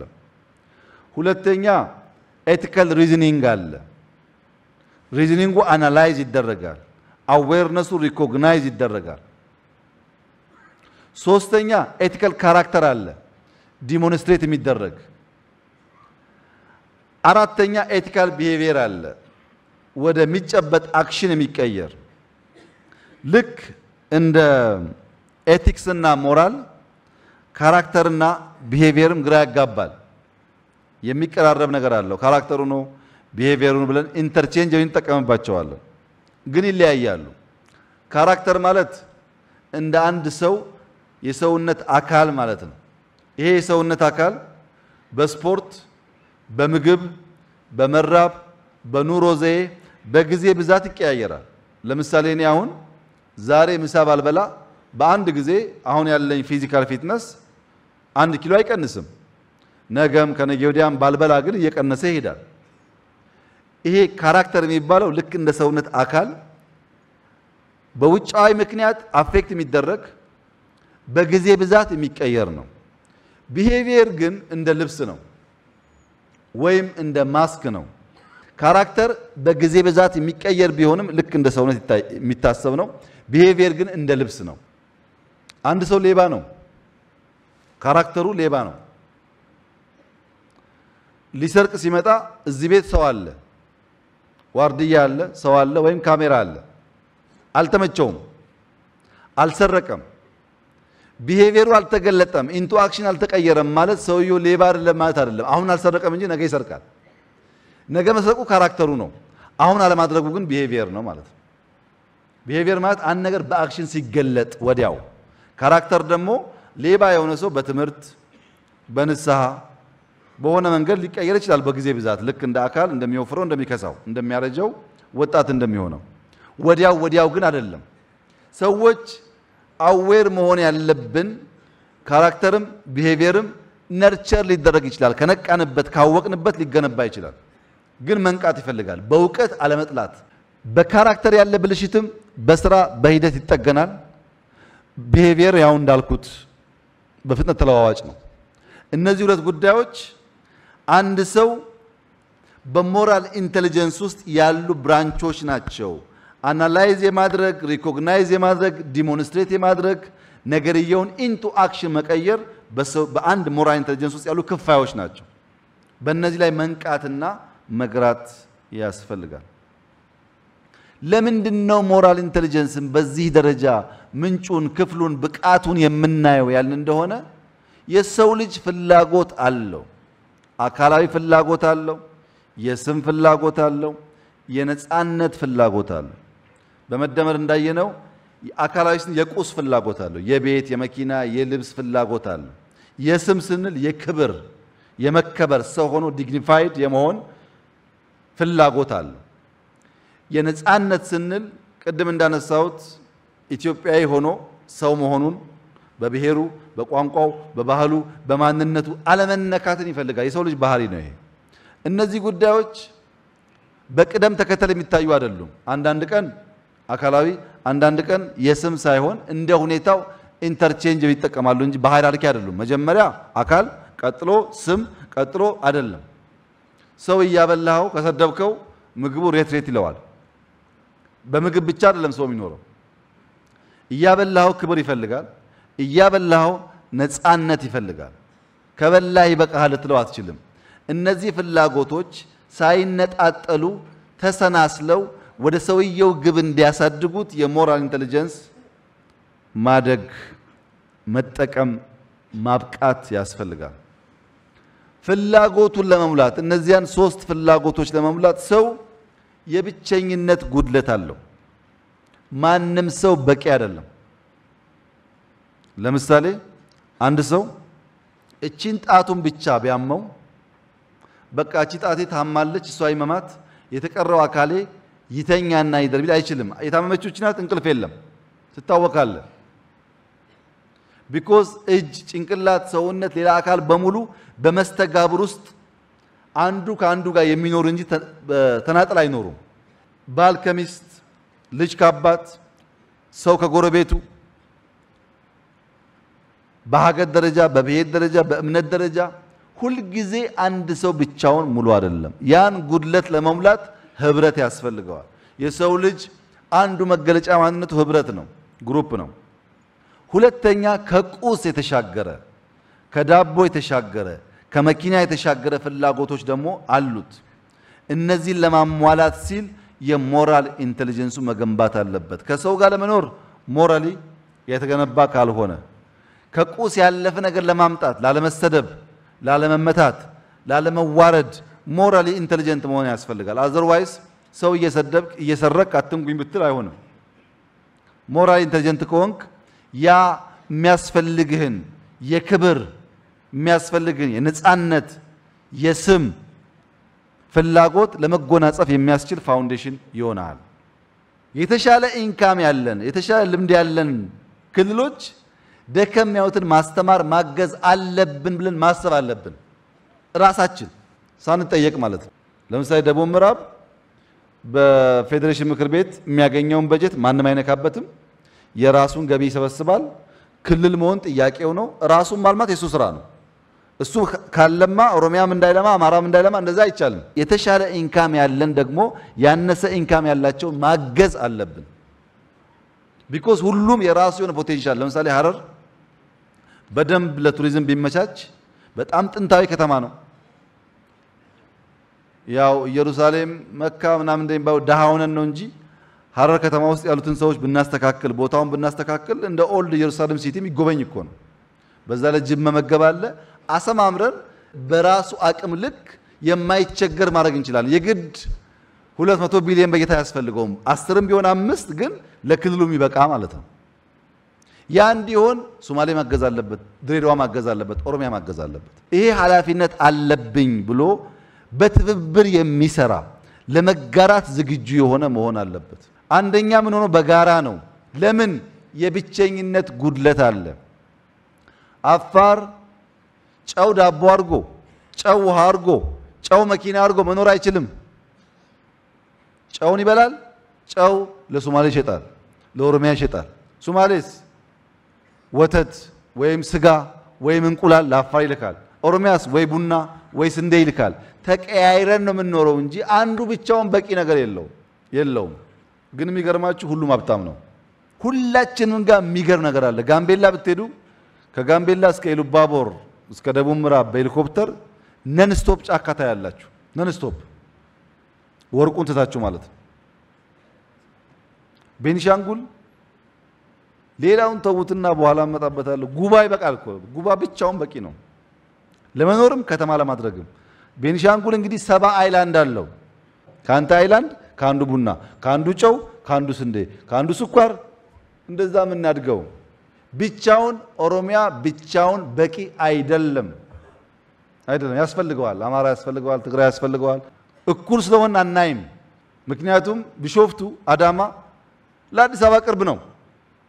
ቦንጋ፣ ጅማ፣ መቱ ሩቅ ናቸው።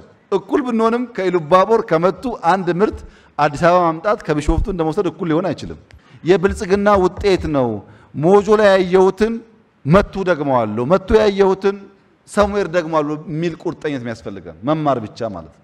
እያንዳንዱ ቦታ ውበት አለ። ያን ውበት more ማጉላት ማውጣት ያስፈልጋል። ይህን ለማድረግ እንደ ማህበረሰብ ኪሳራ አለ፣ እንደ ፓርቲ ኪሳራ አለ፣ እንደ ስብስብ ኪሳራ አለ። ማህበረሰቡ የሚቀጣው እና የሚሸልመው ነገር ያሳስባል። ልክና ስተት የሚለው አሁን አቡዳቢ ሄዶ ልማት ሲያይ የሚያደንቅ note የሚይዝ ፎቶ የሚወስድ ሞጆ ልማት ሲያይ ግን ማድነቅ የሚቸገር ሰው ከሆነ sickness አለ ማለት ነው። ሰው ሀገር እያደነቅክ ሰው ሀገር ፎቶ እያነሳ የራስህን ሀገር ነገር ስታይ እንዴት ላባዛው ነው ማለት ያለብኝ። መታመም አያስፈልግም። ገዳይ ምክንያት ይፈልጋል እንጂ በውስጡ የገዳይነት element ካለ ከግድያ አይመለስም። ገዳይነት መጥፎ ነው ብለን በጋራ አቋም ከያዝን እናቆመዋለን።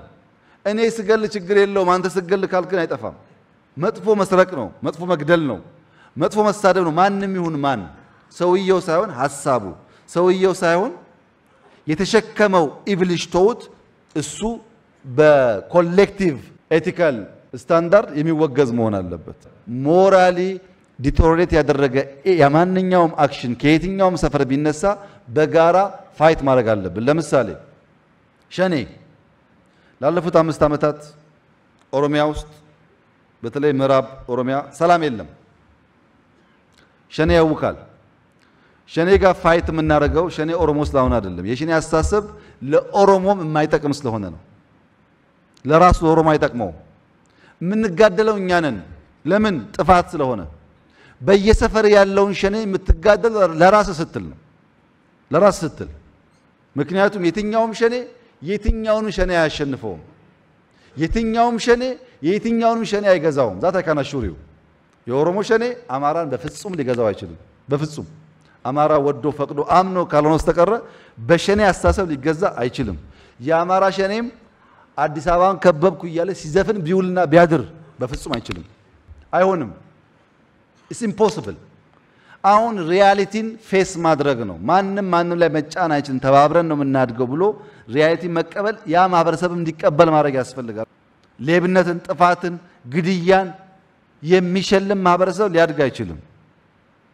ጥፋትን ጥፋት ብሎ የሚጠየፍና የሚያስተካክል መሆን አለበት። ከዚህ አንጻር የመጨረሻው ስላይድ የሥነ ምግባር ጉድለት አደጋዎች ናቸው።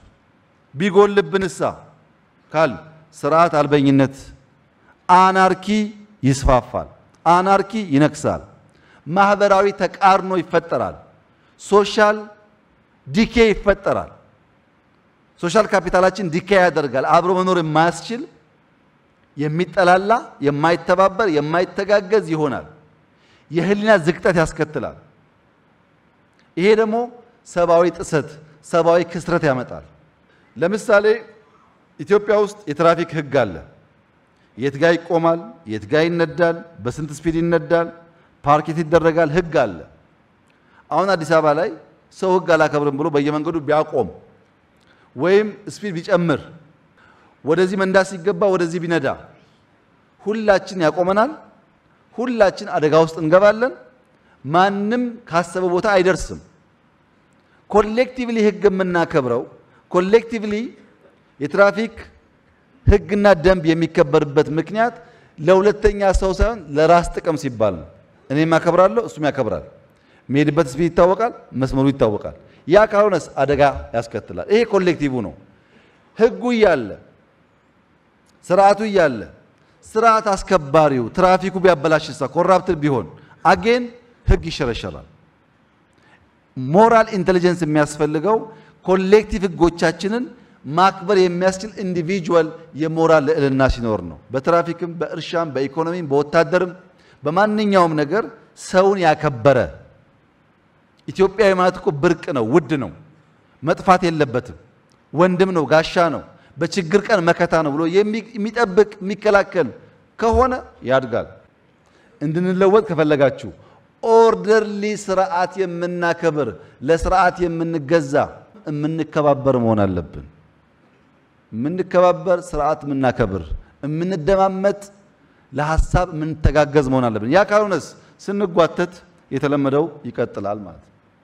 ስንጓተት እንጠፋፋለን። ከዚህ ወጥተን hierarchy ጠብቀን ተከባብረን ተደማምጠን ያለን አክብረን የወጣንም አክብረን የሰራንም አክብረን ያጠፋንም በስርዓት አድርገን የምንሄድ ከሆነ እንደ ሀገር transform እናደርጋለን። ቀጥዬ የማነሳው chapter ከኛ ጋር ከአመራሩ ጋር ያለውን ሚና ነው። ዴንግን ብንወስድ ቻይና ላይ ከተቀበረችበት ከተዘጋችበት በሯን ከፍቶ በሀሳብ የበላይነት አሁን የምናያትን ቻይና መፍጠር የቻለ ነው። ፓርክን ብናይ ኮሪያ ላይ similar ነው። ብዙ ሰዎች በሀገሮቻቸው ላይ የተሻለ idea idea የሚሸከም ስብስብ ፈጥረው ሀገር transform አድርገዋል።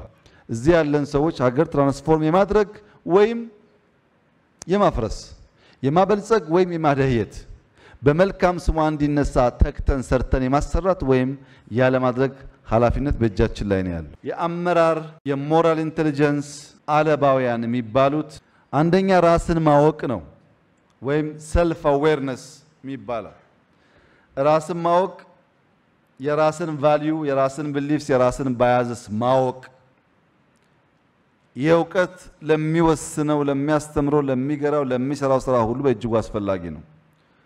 ሁለተኛው ስነ ምግባራዊ ውሳኔ ነው። ethical decision making የሚወስነው ማንኛውም ውሳኔ dilemma ን analyze ያደረገ morality ን ከፍ ያደረገ justifiable መሆን አለበት። ለእያንዳንዱ ውሳኔ ethical decision making ን እንደ እንደ method የሚወስድ መሆን አለበት። ሶስተኛው መርህ ነው። integrity ለሚያደርጋቸው ውሳኔዎች consistent የሆነ principle የሚከተል በመርህ ሰውን አግልቶ ሰውን አስቀድሞ የሚወስን የመጨረሻው ተጠያቂነት ነው። accountability እያንዳንዱ መሪ collectively ም በተናጠል ለምንወስነው ውሳኔ ተጠያቂ እንሆናለን። አገር ካበለጸግን፣ አገር ካጸናን፣ አገር ካሻገርን የምንወደስ የምንሞገስ በሚሆነው ልክ ብናጠፋም በታሪክ ውስጥ ተጠያቂዎች እንሆናለን። ለዚህ ሁሉ የሚዘጋጅና አለባውያን መሆናቸውን አምኖ የተቀበለ መሆን አለበት መሪ። እነዚህን የ moral intelligence ለመገንባት መሪ በቀላሉ አራት ነገሮች ማድረግ አለበት።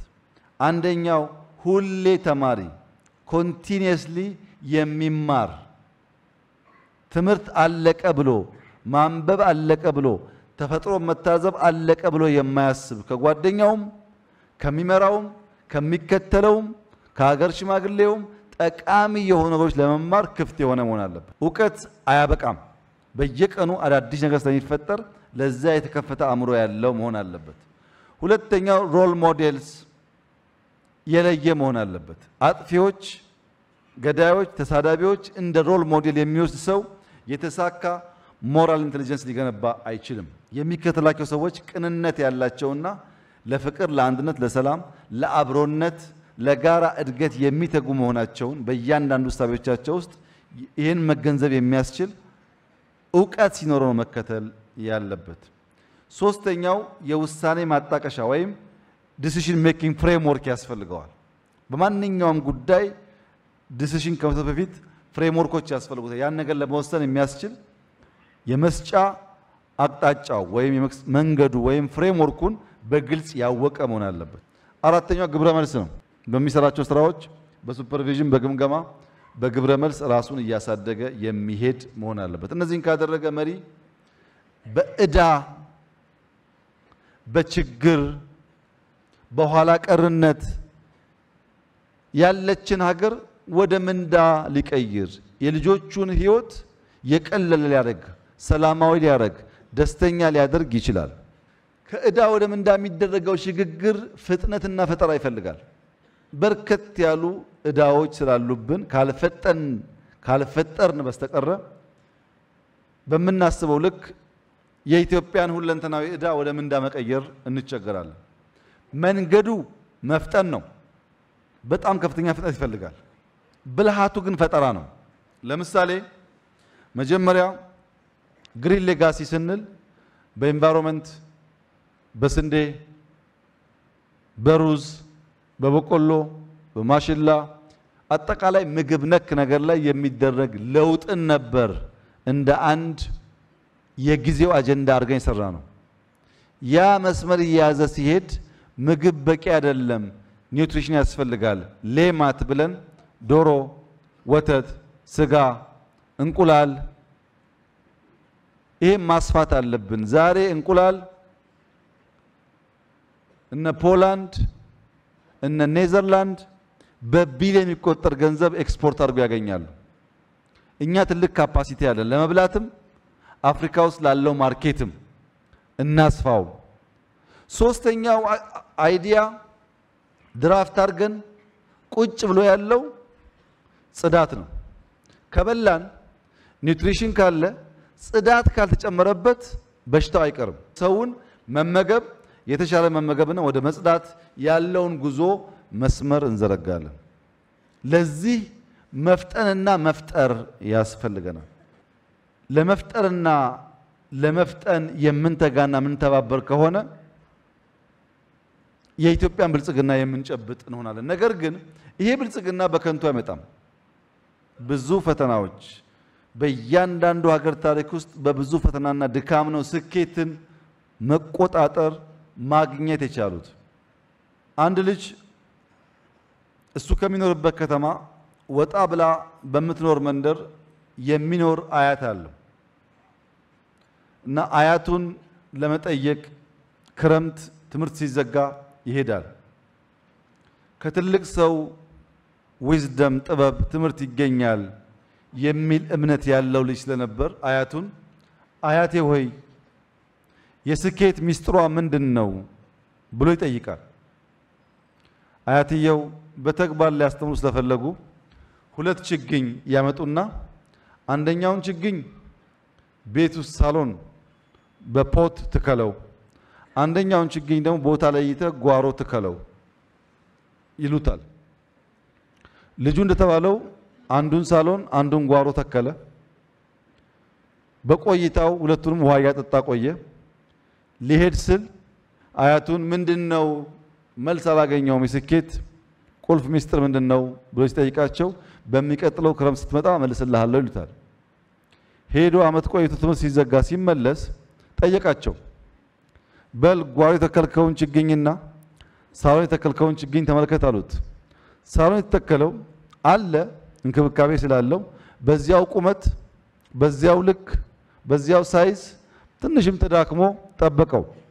ጓሮ የተከለው ቁመቱ እሱን አክሎ አብቦ ወፍሮ ጠበቀው እና አያትየው ጓሮ ካለውና ሳሎን ካለው ችግኝ የትኛው ነው ፈተና የሌለበት ንፋስ፣ ፀሐይ፣ ዝናብ፣ ችግር የማይፈራረቅበት የትኛው ነው ብሎ ጠየቁት።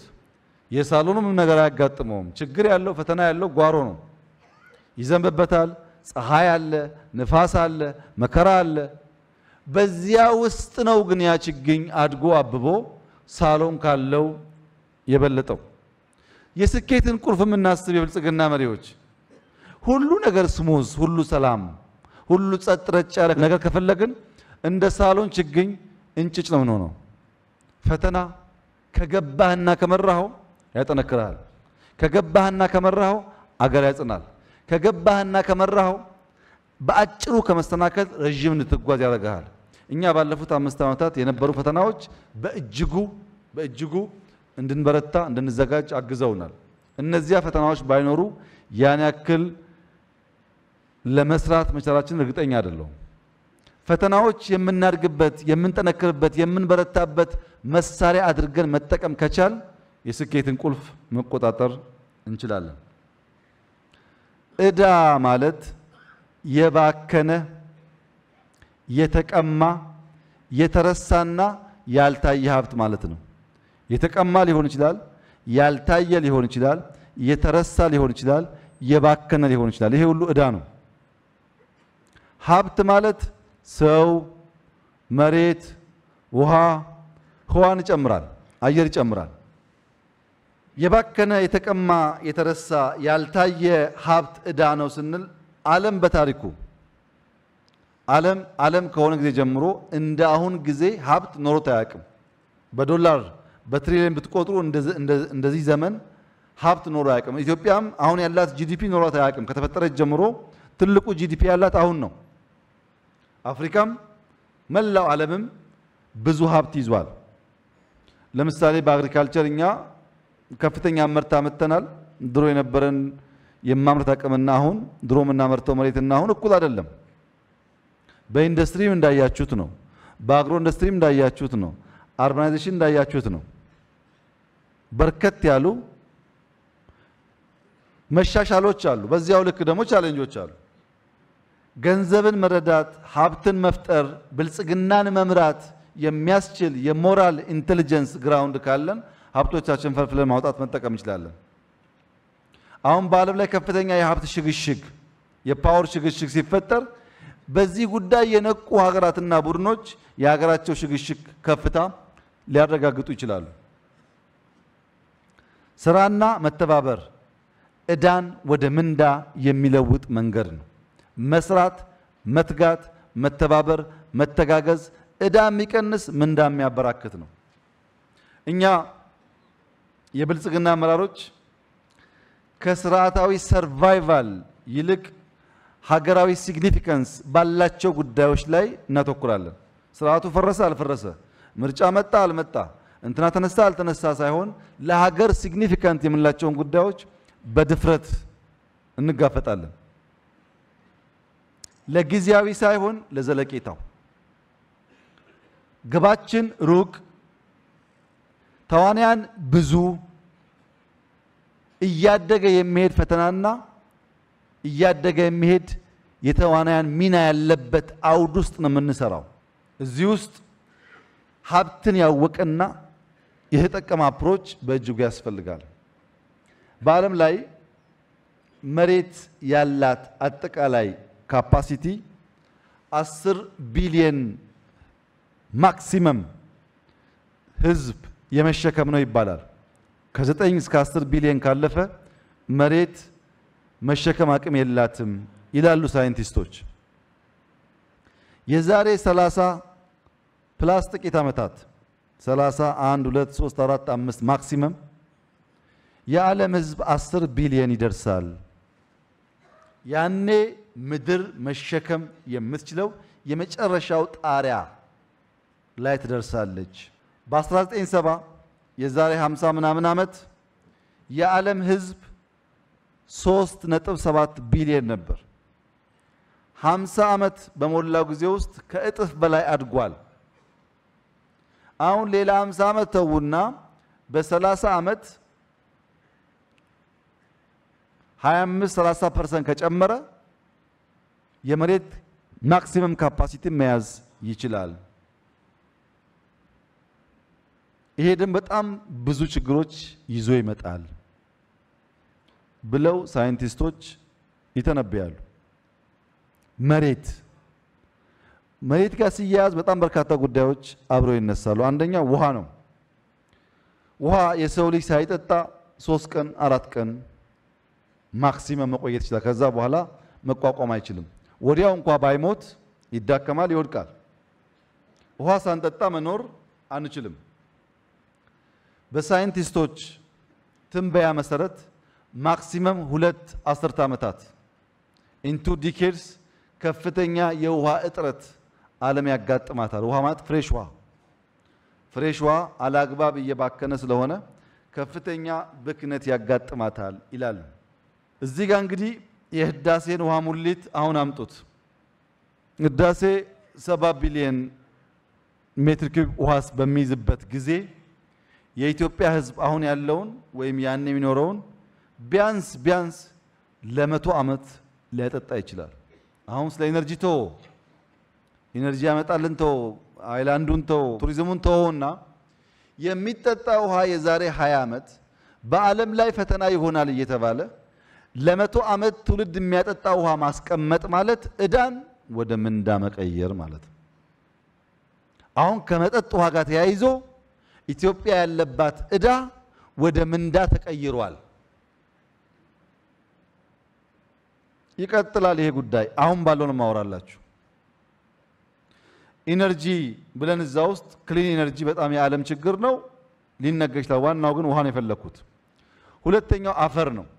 አፈር የላይኛው የሚያመርተው የአፈር layer ከጠፋ በኋላ ተመልሶ የአፈር ለመፈጠር ሺህ ዓመታት ይፈጃል ነው የሚባለው። የአፈር መሸርሸር በጣም ከፍተኛ ኪሳራ ነው። በቀላሉ የሚተካ ነገር አይደለም። ዛፍ ቆርጠህ ትተክላለህ፣ አፈር ከጠፋ ግን ለመተካት ጊዜ በጣም ሰፊ ጊዜ ይፈልጋል። አሁን አንዳንድ ኢትዮጵያ አካባቢ ከፍተኛ አካባቢ ላይ ድንጋያማ ሆኖ የምናየው ሲፈጠርም እንደዛ ሆኖ ላይሆን ይችላል። ያ አፈር በጊዜ ብዛት ሲሸረሸር ቆይቶ ማምረት አቅሙን ቀንሶ አሁን የምናየው ድንጋይ ሊሆን ይችላል።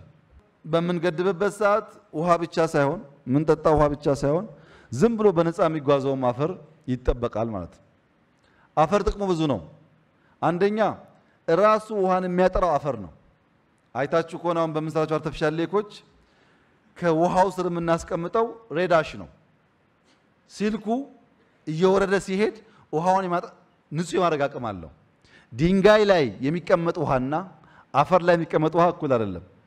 ድንጋይ ላይ የሚቀመጥ ውሃ color ኡ ይቀየራል፣ ይሸታል። አፈር ላይ የሚቀመጥ ውሃ ሰፊ እንቅስቃሴ እንኳን ባይኖር ከድንጋይ የተሻለ ጥራት አለው። ውሃ ያጣራል፣ ምግብ ይሆናል። በጣም በርካታ ጥቅሞች አሉት አፈር። አሁን ያለው fear ምንድን ነው? ልክ እንደ population ኡ አንደኛ over grazing አለ፣ deforestation አለ፣ በጣም ይቆረጣል ዛፍ። intensive የሆነ cultivation አለ፣ ማዳበሪያ መጠቀምና በጣም በስፋት ማምረት። አሁን የምዕራቡ ዓለም ይቸገራል በዚህ ከጥቂት ዓመታት በኋላ ማምረት አንችልም፣ አፈራችን ተዳክሟል ይላሉ። አፈር እየተመናመነ ውሃ እየተመናመነ የሰው ልጅ የመኖሪያ basic ነገር ያነሰ ሰው ደግሞ እየበዛ ከመሬት መቀበል አቅም በላይ እየሆነ በሚሄድበት ሰዓት እዳ multiply ነው የሚሆነው። ሶስተኛው አየር ነው። የአየር pollution ጉዳይ የምታዩት ነው። air pollution silent killer ነው ይባላል። ሳይናገር ነው የሚገለው። አሁን ባለው ሁኔታ ከአስር ሰው አብዛኛው ሰው ንጹህ ያልሆነ አየር ነው የሚወስደው። አየር ችግር አለበት። ኬንያ ተበክሎ አንተን ይበክልሃል። የግድ ያንተ አየር የግል አየር የለም። ጋና ተበክሎ ናይጄሪያን ሊጎዳ ይችላል። አፈር ይሸረሸራል፣ fresh ውሃ ይመናመናል፣ ሰው ይበዛል። ይሄ አሁን የምናውቀውን ዕዳ በብዙ ያበራክተዋል። መንቃት የሚያስፈልገው ውሃችን ላይ፣ ሰዋችን ላይ፣ መሬታችን ላይ፣ አየራችን ላይ ነው። ከዚህ አንጻር fresh ውሃ save በማድረግ ብቻ ሳይሆን በ Green Legacy 32.5 ቢሊዮን ችግኝ ኢትዮጵያ ውስጥ ላለፉት ዓመታት እንዲሳካ ማድረጋችን ለብዙ ሀገራት እንቆቅልሽ ነው። ለእኛ ግን በ deforestation፣ በ air pollution፣ በ land erosion ያሉ ዕዳዎች ወደ ምንዳ የሚቀይር በጣም ትልቅ የተግባር እንቅስቃሴ ነው። ሀብት አለን፣ ጫካ አለን፣ ሰው አለን፣ የሚታረስ በጣም ሰፊ ቦታ አለን፣ ውሃ አለን። የጎደለን ፍቅር ነው። ያ ደግሞ በ moral intelligence መጓደል የመጣ ነው። አመራሩ moral intelligence ኡን ገንብቶ አብሮ መኖር coexistence important ብሎ ካመነ የኢትዮጵያን ዕዳ ወደ ምንዳ በሀብት መቀየር ይቻላል። ይህን ሀብት ለመቀየር ግን ሀብቱን ማወቅ፣ ሀብቱን መጠቀም፣ ሀብቱን ማስተዳደር ለዚህ ሁሉ moral intelligence ground ነው። የትም ቦታ ያለ የኢትዮጵያ ሀብት ወጥቶ ለኢትዮጵያውያን ትርፋማነት እና ወደ ምንዳ መሸጋገር ጠቃሚ መሆን አለበት የሚል የወል እምነት በእኛ መካከል ያስፈልጋል። ሀብት ሁለተኛው ጊዜ ነው። ጊዜ ከፍተኛ የሆነ የባህል ለውጥ የሚጠይቅ ጉዳይ ነው። ወቅት፣ እድል፣ ሲዝን ሳያልፍ መጠቀም መቻል በጣም ያስፈልጋል። ለምሳሌ አያቶቻችን ልጅ እያሉ ውሃ ቅጂ፣ ልብስ እጠቢ፣ ወጥ ስሪ ይባላሉ። እናት እያሉም ይቀጥላል ይሄ ጉዳይ። አሁን አያቶቻችን ሄደን እስቲ አያቴ ቡና አፊልኝ፣ እስቲ ተነሽና ወጥ ስሪ ማለት አንችልም። የዛ ያ season አልቋል። አሁን አያት ከሆነች በኋላ እኛ ያንን ማድረግ የሚጠበቅብን እንጂ ከእሷ አንጠብቅም። አንዳንድ አያቶች ወጣት እያሉ ሳያፈሉ እናት እያሉ ሳያፈሉ አያት ከሆኑ በኋላ አፍሉልኝ ቢሉም ያፈላ አያገኙም። የዘራኸውን ነው የምታጭደው። በ season በጊዜ ያልሰጠኸውን ነገር ከ season በኋላ harvest ማድረግ አትችልም። አሁን እዚህ ያላችሁ ሰዎች የዛሬ 20 ዓመት፣ 25 ዓመት፣ 30 ዓመት ይሄ አቅም የላችሁም። ወደንም ጠላን እናረጃለን፣ እንደክማለን። priority ያችን ይቀየራል፣ ፍላጎታችን ይቀየራል። አሁን በመሮጫ ጊዜያችን ጉልበት ባለን ጊዜ ተጠቅመን ዕዳን ወደ ምንዳ መቀየር ካልቻል ቋሚ የሚባል ከኛ ጋር የሚጸና ጊዜ የለም። እናረጃለን፣ እንደክማለን። ዕዳ ደግሞ ማለት የባከነ ጊዜ ነው፣ ያመለጠ እድል ነው። የባከነ ጊዜ ያመለጠ እድል ዕዳ ነው። መባከን የለበትም፣ መጠቀም ያስፈልጋል። ጊዜ በስራ ወደ ሀብትና ብልጽግና ካልተለወጠ ያመልጣል። ልክ ትናንት የነበረው ዝናብ ግድብ አልነበረንም፣ አፈራችንን ይዞ እንደሄደው ሁሉ ቶሎ ካልገደፍ በስተቀር የሚቀጥለው ክረምት የሚመጣውን ውሃ መያዝ አትችልም። ሄደ ማለት ነው፣ ያልፋል። ካመለጠ አመለጠ ነው። ያለፈው ትውልድ ያመለጠው የሚመጣው ትውልድ የማያገኘው እድል ዛሬ ነው። ያለፈው በቃ ቢልም ባይልም አጥቶታል። ያንተ ጊዜ ነው አሁን። next generation ደግሞ ይሄንን ጊዜ አያገኘውም። የራሱ የሚጠብቀው ፈተና አለ። ዛሬን በአግባብ ተገንዝቦ መጠቀም የሚችል ትውልድ ከሆን ዕዳን ወደ ምንዳ መቀየር እንችላለን። ጊዜ ካልተጠቀምን ግን ይበላሻል። ብልጽግናዎች እንደ spring ማሰብ አለብን። spring ትንሽዬ ከሳብከው ብዙ ርቀት አይሄድም። በደንብ ከሳብከው በሰጠኸው ጉልበት ልክ የሚወረወረው።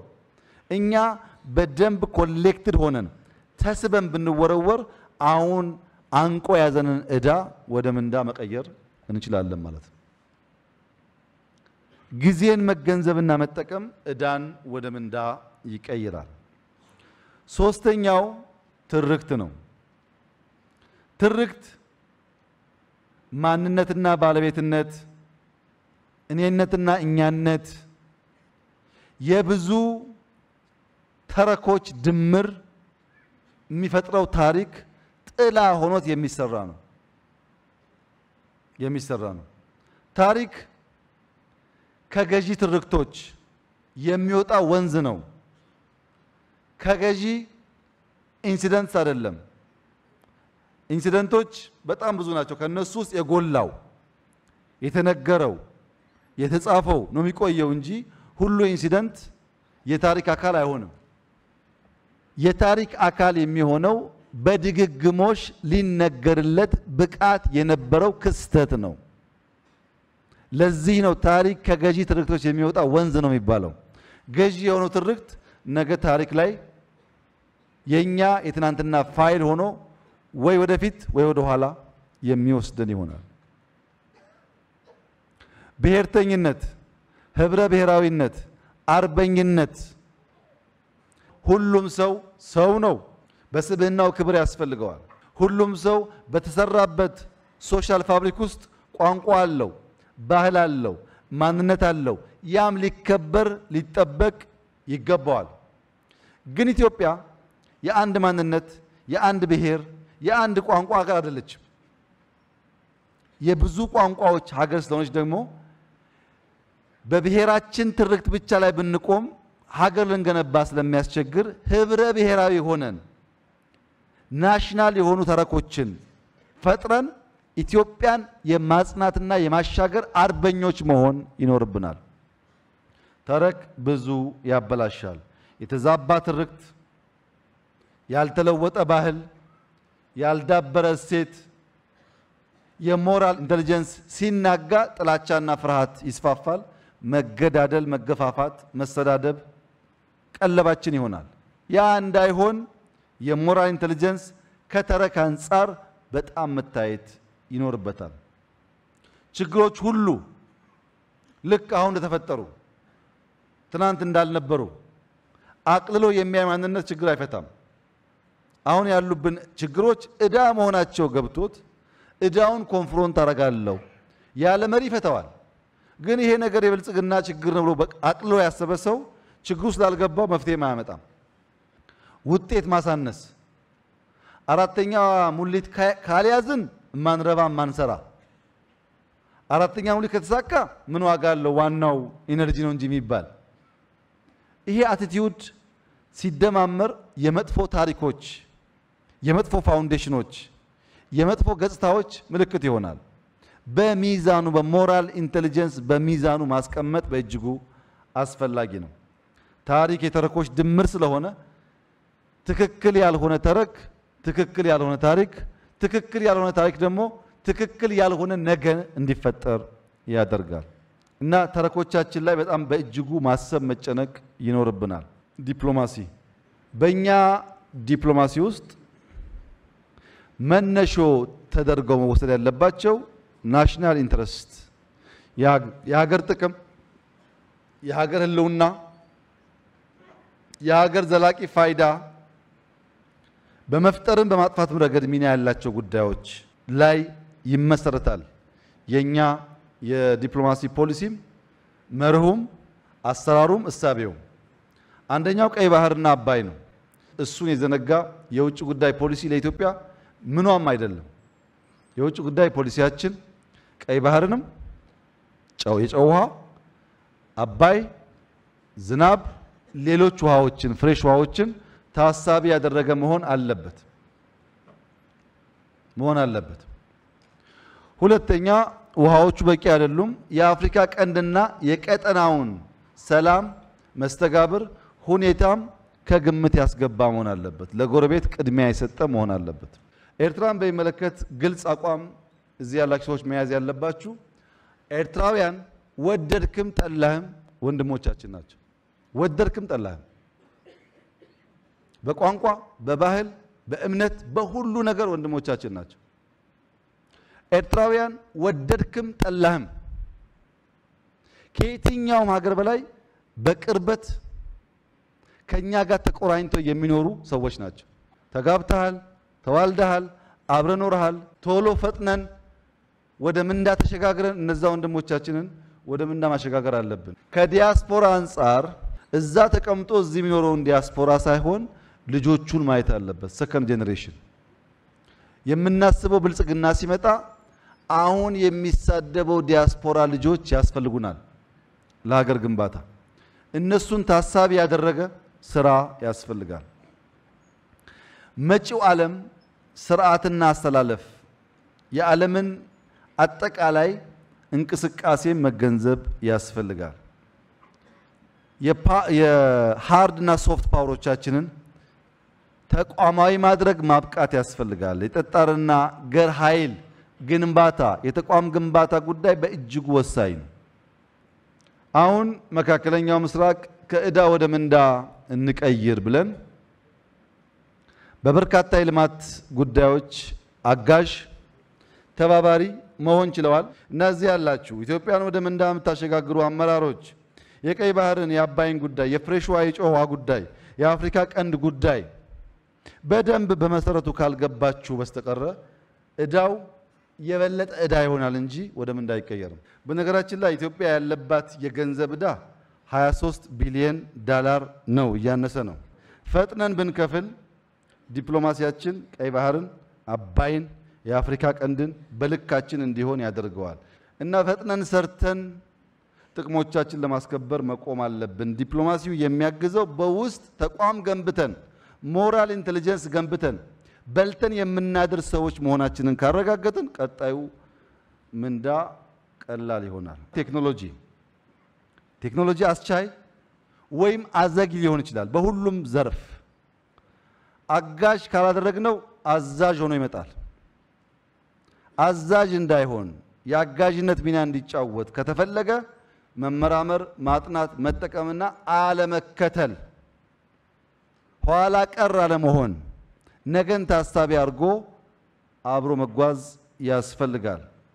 የቴክኖሎጂ ክህሎት ካልገነባንና ካልታገዝን መምራት ችግር ነው። እርሻም ችግር ነው። ኢንዱስትሪም ችግር ነው። ሁሉ ችግር ነው። ቴክኖሎጂ ከተማ ውስጥ ሰላም ነው፣ ሕክምና ነው፣ ትራንስፖርት ነው፣ ህንፃ ግንባታ ነው፣ ሁሉ ነገር ነው። ያስፈልገናል። ዕዳን በፍጥነት ወደ ምንዳ ለመለወጥ የተሻለው አማራጭ artificial intelligence እኛን የሚገዛን ሳይሆን የምንገዛው የሚጠቀምብን ሳይሆን የምንጠቀምበት ዕዳው ሳይሆን ምንዳው የበዛ እንዲሆን ከወዲሁ ዝግጅት ካደረግ ነው። ለዛ ደግሞ በቂ ፋውንዴሽን አለን። እኛ መቶ ሚሊዮን ነን። ከእኛ ውስጥ 10 ሺህ 20 ሺህ ሰው እንኳን በዚህ ረድፍ ካዘጋጀን ቀላል ነገር አይደለም። ቀላል አይደለም። ሰው አለን። ሰው ማዘጋጀት በፍጥነት አምና 12ኛ ክፍል ተማሪዎች ማትሪክ ወስደው ሻል ያለ ውጤት ያመጡ ሁለት መቶ ምናምን ገደማ ሰዎች ተጋብዤ ሄጄ ላናግራቸው ለሁሉም scholarship አቡዳቢ ስፖንሰር አድርጓችኋልና ትማራላችሁ ብያቸው ነበር እና ሲፈተኑ ማስረጃ ሲልኩ ሁለት ወር ሶስት ወር ዘግይቷል። አሁን ሁሉም ተማሪዎች አቡዳቢ ገብተዋል። ሁሉም እዛ ቃል የተገባላቸው ትምህርት ጀምረዋል እና ብዙዎቹ artificial intelligence የመማር እድል አግኝተዋል ማለት ነው። ሌላው ከዕዳ ወደ ምንዳ የ civil service የ public service reform ደፍረንና ጨክነን ካላሳካም በስተቀረ ዕዳችን ወደ ምንዳ አይቀየርም አይቀየርም። የሰው ሀብታችን እንደ ሀብት እንደ መሬት እንደ ውሃ ከዕዳ ወደ ምንዳ መቀየር አለበት። የስራና አገልግሎት ባህላችን መቀየር አለበት። አገልጋይነት የትልቅ ደስታ ምንጭ መሆኑን ማመን አለብን። አሰራራችን፣ ስርዓታችን መታደስ አለበት። በጣም ብዙ የሚያሳዝኑ አሰራሮች አሉ። እያንዳንዳችሁ ቢሮአችሁን ፈትሹ። በየዞናችሁ በየክልላችሁ የወረቀት ክምር ወረቀት ባይዘ በሽታም ያመጣል። አስምም ቢሮ ውስጥ ከምረ ከምረ የማታውቀውን ወረቀት የዛሬ 20 ዓመት 30 ዓመት 40 ዓመት የነበረውን አጠገብ መቀመጥህ ምንም ፋይዳ የለውም። ወደ አንድ ኮምፒውተር ቀይረው፣ ፋይዳ የለውም። በሽታ ብቻ ነው ያለው።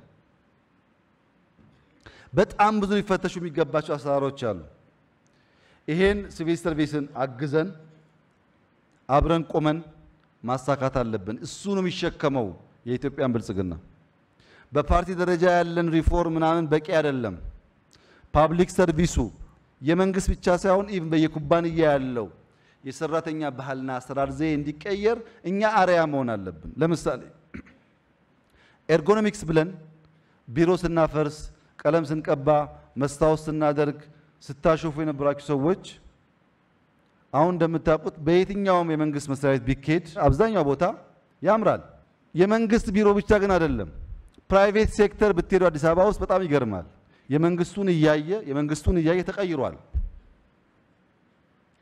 influence አድርገናል private sector ኡን። አዲስ አበባ ውስጥ ለልጆች የሰፈር መጫወቻ ስታዲየም artificial ስታዲየም መሰራት ተጀምሯል እና አንደኛው ስታዲየም እኛ ቢሮ አካባቢ ነው። በጣም የሚገርማችሁ ትላልቅ ሽማግሌዎች በቲቪ ብቻ የምታውቋቸው የሃይማኖት አባቶች ትላልቅ የማታስባቸው ሰዎች ቅዳሜ፣ እሁድ 11 11 ሰዓት ተኩል ቁምጣ ለብሰው እዛ አሉ። ለካ ሲመቻች ሰው ይወጣል። መሄጃን ያጣው ብናመቻችለት ብዙ ሰው መዝናናት ይፈልጋል። ልክ በፍሬንድሺፕ እንዳየ ነው ማለት service ላይ በየከተማ በየክልል በየመስሪያ ቤታችን ሪፎርም ያስፈልጋል። በጣም ብዙ ችግር ስላለ በነገራችን ላይ የሚሰሩ ሰዎች አሉ። ሰው የለም ማለት አይደለም። በጣም የሚደክሙ ሰዎች አሉ። ግን ልክ እንደ ergonomics ኡ ለ private sector አርአያ መሆን የሚችል እንቅስቃሴ ያስፈልጋል። ይሄ ሪፎርም አልበዛም ወይ አይጎዳም ወይ? civil service ም ግብርና ምናምንም አንድ ላይ ከዕዳ ወደ ምንዳ መሸጋገር ከፈለክ ድፈር። ስትደፍር ግን በ moral intelligence ስትደፍር አገርን ወደ ምንዳ ለማሸጋገር ብቻ መሆን አለበት እንጂ ለነገ ብለህ የምታቆየው መኖር የለበትም። ዶክተር መኩሪያ የጀመረው ነገር አለ በደንብ ያልሰራው የትምህርት ማስረጃ በየመስሪያ ቤቱ ለምሳሌ የሚኒስትሩ ማስረጃ አይፈተሽም፣ የሰራተኛው ብቻ ነው የሚፈተሸው። ይሄ ትክክል አይደለም። የሁላችንም ማስረጃ መታየት አለበት። ሰውየው የተማሩ ትምህርት ታሪክ መሆኑን አውቀን በሌላ ኢንቴሊጀንስ ብቃት ስላለው ልንሾመው እንችላለን፣ ችግር አይደለም። ግን መፈተሽ ያለበት የሁላችን ይሄ ትንሽ አሜት አለ። የአለቃ አለቃዎች አይታይም፣ ታች ያሉት ብቻ። ይሄ ትክክል አይደለም። መፈተሽ ያለበት የተሳሳተ ትምህርት ማስረጃም መለየት አለበት በተባለው አቅጣጫ። ሲቪል ሰርቪስን ማዘመን መለወጥ ካልቻል ኮሪያ፣ ሲንጋፖር፣ ቻይና ተረት ተረት ነው፣ አትደርስበትም። መቀየር አለበት። የኛ አሰራር ስርዓት ችግር አለበት በብዙ መልኩ። ሚዲያ እውነት የሚዲያ ምንዳ፣ ሐሰት የሚዲያ ዕዳ ናት። የሚዲያን ታሪክ ምስቅልቅል እያወጣ ያለው የሐሰት ዘገባ ነው። አዲሱ ሚዲያን እንደ ዕዳ ወይም እንደ ምንዳ መጠቀም ይቻላል። ፈጣኑና በፈጠራ የተሞላው የሐሳብ መንገድ በቅርብ ርቀትና ፍጥነት ወርቁን ከጭቃው ለይተን ወደ ሀብት ለመቀየር ያግዘናል። በእኛ ሀገር አባባል ጦር ከፈታው ወሬ ፈታው ይባላል። ብዙ ወሬ አለ፣ ጥርጣሬን፣ ጥላቻን የሚዘራብን። ከዛ ለመውጣት በአዲሱ ሚዲያ በከፍተኛ ፍጥነትና ፈጠራ operate ማድረግ ያስፈልጋል። ሚዲያን ማየት ያለብን ከትርክትና ከወል እውነት አንጻር ነው። የኢትዮጵያ የጋራ እውነት ለምሳሌ ቅድም እንዳነሳሁት እኛ ስንዴ ላይ፣ green legacy ላይ፣ አንዳንድ ከተሞች ላይ የጀመርናቸው ስራዎች በጣም ድንቅ ናቸው። ብዙ የዓለም ሰዎች ሲመጡ ይነግሩናል። አዲስ አበባ የተጀመረው ለውጥ በጣም የሚያደንቁ ሰዎች አሉ። ለምሳሌ ጫካ አትጠራጠር ኢትዮጵያን ከዕዳ ወደ ምንዳ ከሚያሸጋግሩ በጣም important ስራዎች አንዱ ነው። ታየዋለህ። ግን እኛ አየር አልያዝንም፣ በጀት አልመደብንም። ለሱ በጀት የመደቡ ሰዎች በክፉ ነገር በከፍተኛ ደረጃ ይሞክራሉ ለማጠልሸት። of course ሊያቆሙን አይችሉም። ለማጠልሸት ከኛም ይጠበቃል። አንተ አካባቢ ያለ ጫካ፣ አንተ አካባቢ ያለ ድልድይ፣ አንተ አካባቢ ያለ ፕሮጀክት፣ አንተ አካባቢ ያለ መልካም ነገር ፎቶ አንስተህ ታሪኩን መልካምነቱን ብትናገር ብዙ ሰው ጋር ይደርሳል። ከኢትዮጵያ ጫፍ ሁሉ መልካም ነገር አየሩን ቢሞላ artificial intelligence ስለ ኢትዮጵያ ሲጠየቅ እነዛን መልካም ነገሮች pick ያደርጋል። ፓርኮች አሉ፣ ጫካዎች አሉ፣ መልካም ስራዎች አሉ።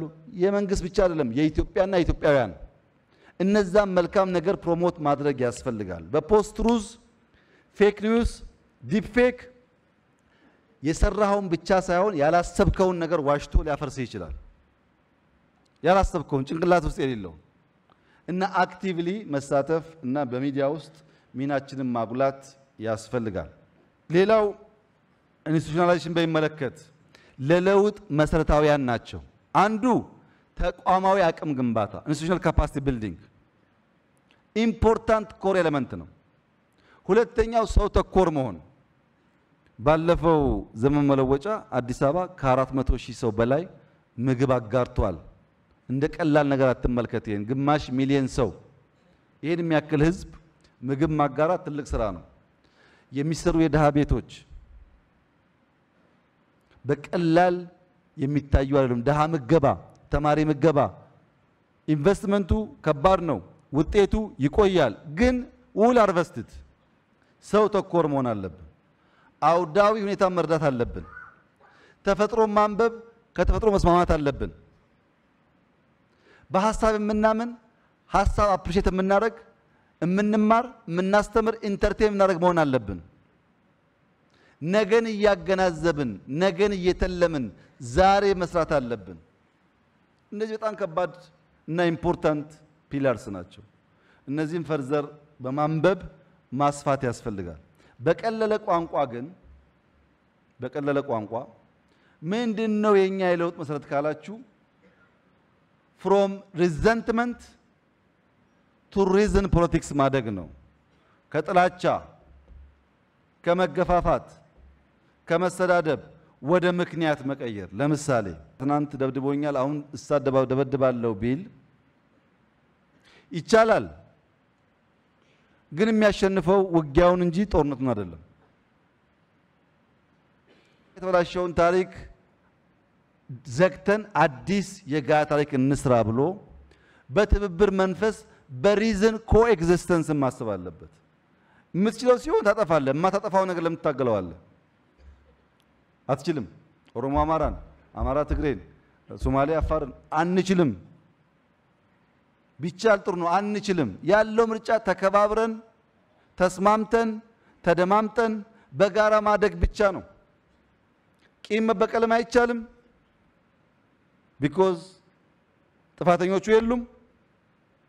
ታሪክ መዘን ነገም ማበላሸት የለብንም የለብንም እና ከ resentment ወደ reason የተቀየረ ፖለቲካ from conspiracy ወደ consensus ወደ conversation ወደ ንግግር የተቀየረ ፖለቲካ from competition to cooperation የተቀየረ ፖለቲካ from poverty to prosperity የተቀየረ ፖለቲካ ድህነት ድህነት ድህነት ከሚል ወደ መበልጸግ መቀየር የሚያልን ፖለቲካ from animosity to affinity የተቀየረ to empathy to compassion የተቀየረ ፖለቲካ ያስፈልገናል። በድህነት ትርክት ውስጥ መኖር አንችልም። በሽረባና ተንኮል ጨዋታ ውስጥ መኖር አንችልም። እንደግ፣ ተቋምን ገንባ፣ ሰውን ገንባ፣ ደግሞም እንድፈር። ምን እንድፈር? inclusive national dialogue ድፍረት ነው። የማይነካካው ጉዳይ የለም። ብልጽግና ደፍሮታል፣ ደግሞ ይፈተዋል። የክልል ጥያቄ መልስ በደቡብ ክልል የተመለሰው መልስ በቀላል አይታይም። አዲስ አበባና ኦሮሚያ በቀላል አይታይም። በዚሁም ወሰንን ለማንሳት ከአማራ ክልል ጋር አንዳንድ ብዥታዎች ስላሉ በአማራ ክልልና በትግራይ መካከል የወሰን ጥያቄዎች ላለፉት ዓመታት ነበሩ። ሰላሳ ዓመት ነበሩ። ከፍ ዝቅም ቢሉ ነበሩ ጥያቄዎች፣ የማንነት ጥያቄ። ከለውጡ በኋላ እነዚህ አብዛኛዎቹ ጥያቄ ያለባቸው አካባቢዎች የፌዴራል መንግስት ይቆጣጠራቸዋል። ሰሞኑን እርቅ ከተፈጸመ በኋላ ሁለት ዋልታ የረገጡ እሳቤዎች ተነሱ። ትግራይ እኛ ራሳችን የሽግግር መንግስቱ በፌዴራል ስር ነን፣ ፌዴራል ትግራይን ሁለት ቦታ ከፍሎ አንደኛውን ወልቃይትን በፌዴራል interim በፌዴራል ከሚል ሁላችንም እንደ ክልል ፌዴራል እንሆንና በሪፈረንደም እነዛ ቦታዎች ይወሰኑ የሚል ጥያቄ ያነሳሉ። ባጭሩ ወልቃይት ወደኛ ይምጣ፣ ራያ ይምጣና ጥያቄዎቹ ግን ይታዩ በህግ መጀመሪያ ግን ክልልነታቸው ይረጋገጥ ይላሉ። የአማራ ክልል ደግሞ የለም ከዚህ ቀደም ጥያቄው ሲነሳ እያፈናችሁ እያሰራችሁ ስለቆያችሁ አሁን የፌዴራል መንግስት በክልል በያዘበት ሁኔታ ሪፈረንደም ካልተደረገ በስተቀረ አይሆንም ይላሉ። ፌዴራል መንግስት ትግራይም አማራም ክልሉ ነው። ትግራይም አማራም ህዝቡ ነው። የሚፈልገው ሰላማዊ የሆነ መስተጋብር በሁለቱ ህዝቦችና ክልሎች ላይ እንዲፈጠር ነው። እኛ ምን ወሰን? አንደኛ የተፈናቀሉ ሰዎች ቦታቸው ይመለሱ። ቀበሌያቸው፣ ቤታቸው፣ ወረዳቸው ይታወቃል።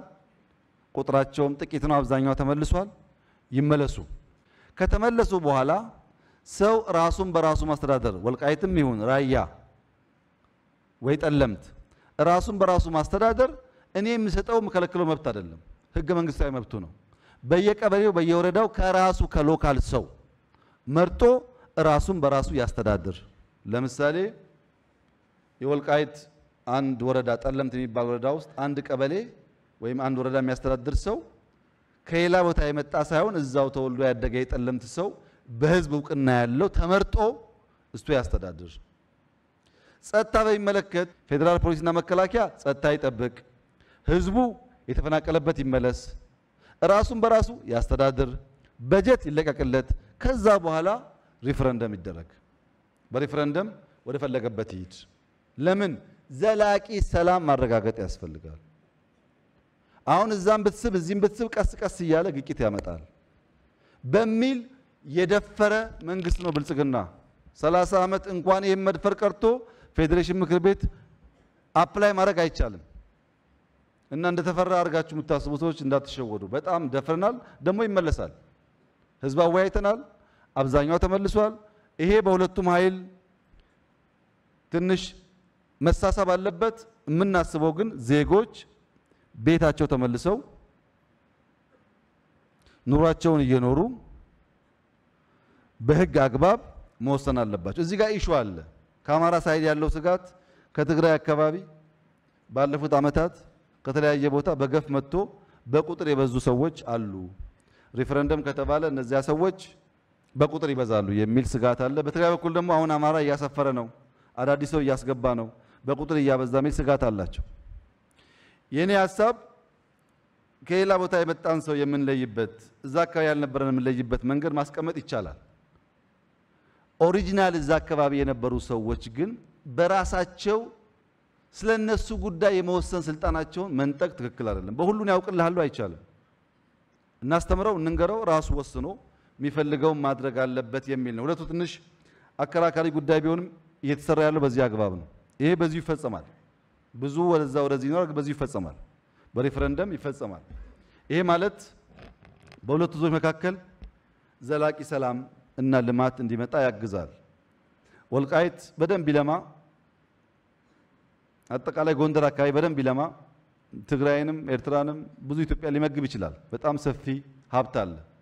ያ ወደ ስራ መግባት ሲገባን ጭቅጭቅና ጥላቻው ስለሚጎዳን በሰከነና ህጋዊ በሆነ መንገድ በውይይት ብቻ ጉዳዩን ዘላቂ ልባት እንዲያገኝ ማድረግ አለብን ነው። ፓርቲ ላይ ኢህአዴግን አፍርሶ ብልጽግናን መፍጠር በቃ ቀላል ነገር ነው ማለት ነው። ያ በነበረበት ወቅት ብዙ ዊዝደም ብዙ እውቀት ማግኘት አይቻልም። በጣም አገር ጠባቂ ፐሪፈሪ ያሉ ክልሎች ያ እድል አልነበራቸው። በድፍረት ተፈጽሟል። ዴሞክራሲ ላይ mistake ኦች አሉ። በምርጫ ቦርድ፣ በ human right commission፣ በእንባ ጠባቂ፣ በፓርላማ ሰፋፊ ስራ ሰርተናል። ችግሮች አሉበት። አንዳንድ አደገኛ ሰዎች ቆባቸውን ደብቀው ተሰግስጓል ውስጡ የጊዜ የሚያጠራው ቢሆንም ማለት ነው። ግን ተሞክሯል። ፕሮጀክቶች ህዳሴን ጨምሮ economic reform ኦች፣ እነዚህ ሁሉ challenge ኦች የለውጡ መሰረታዊያን በተቀመጠው አግባብ confront አድርጎ እዳን ወደ ምንዳ ለመቀየር የተሰራ ስራ ነው። ሲቪል ሰርቪሱም የዚህ አካል ሆኖ ይቀጥላል።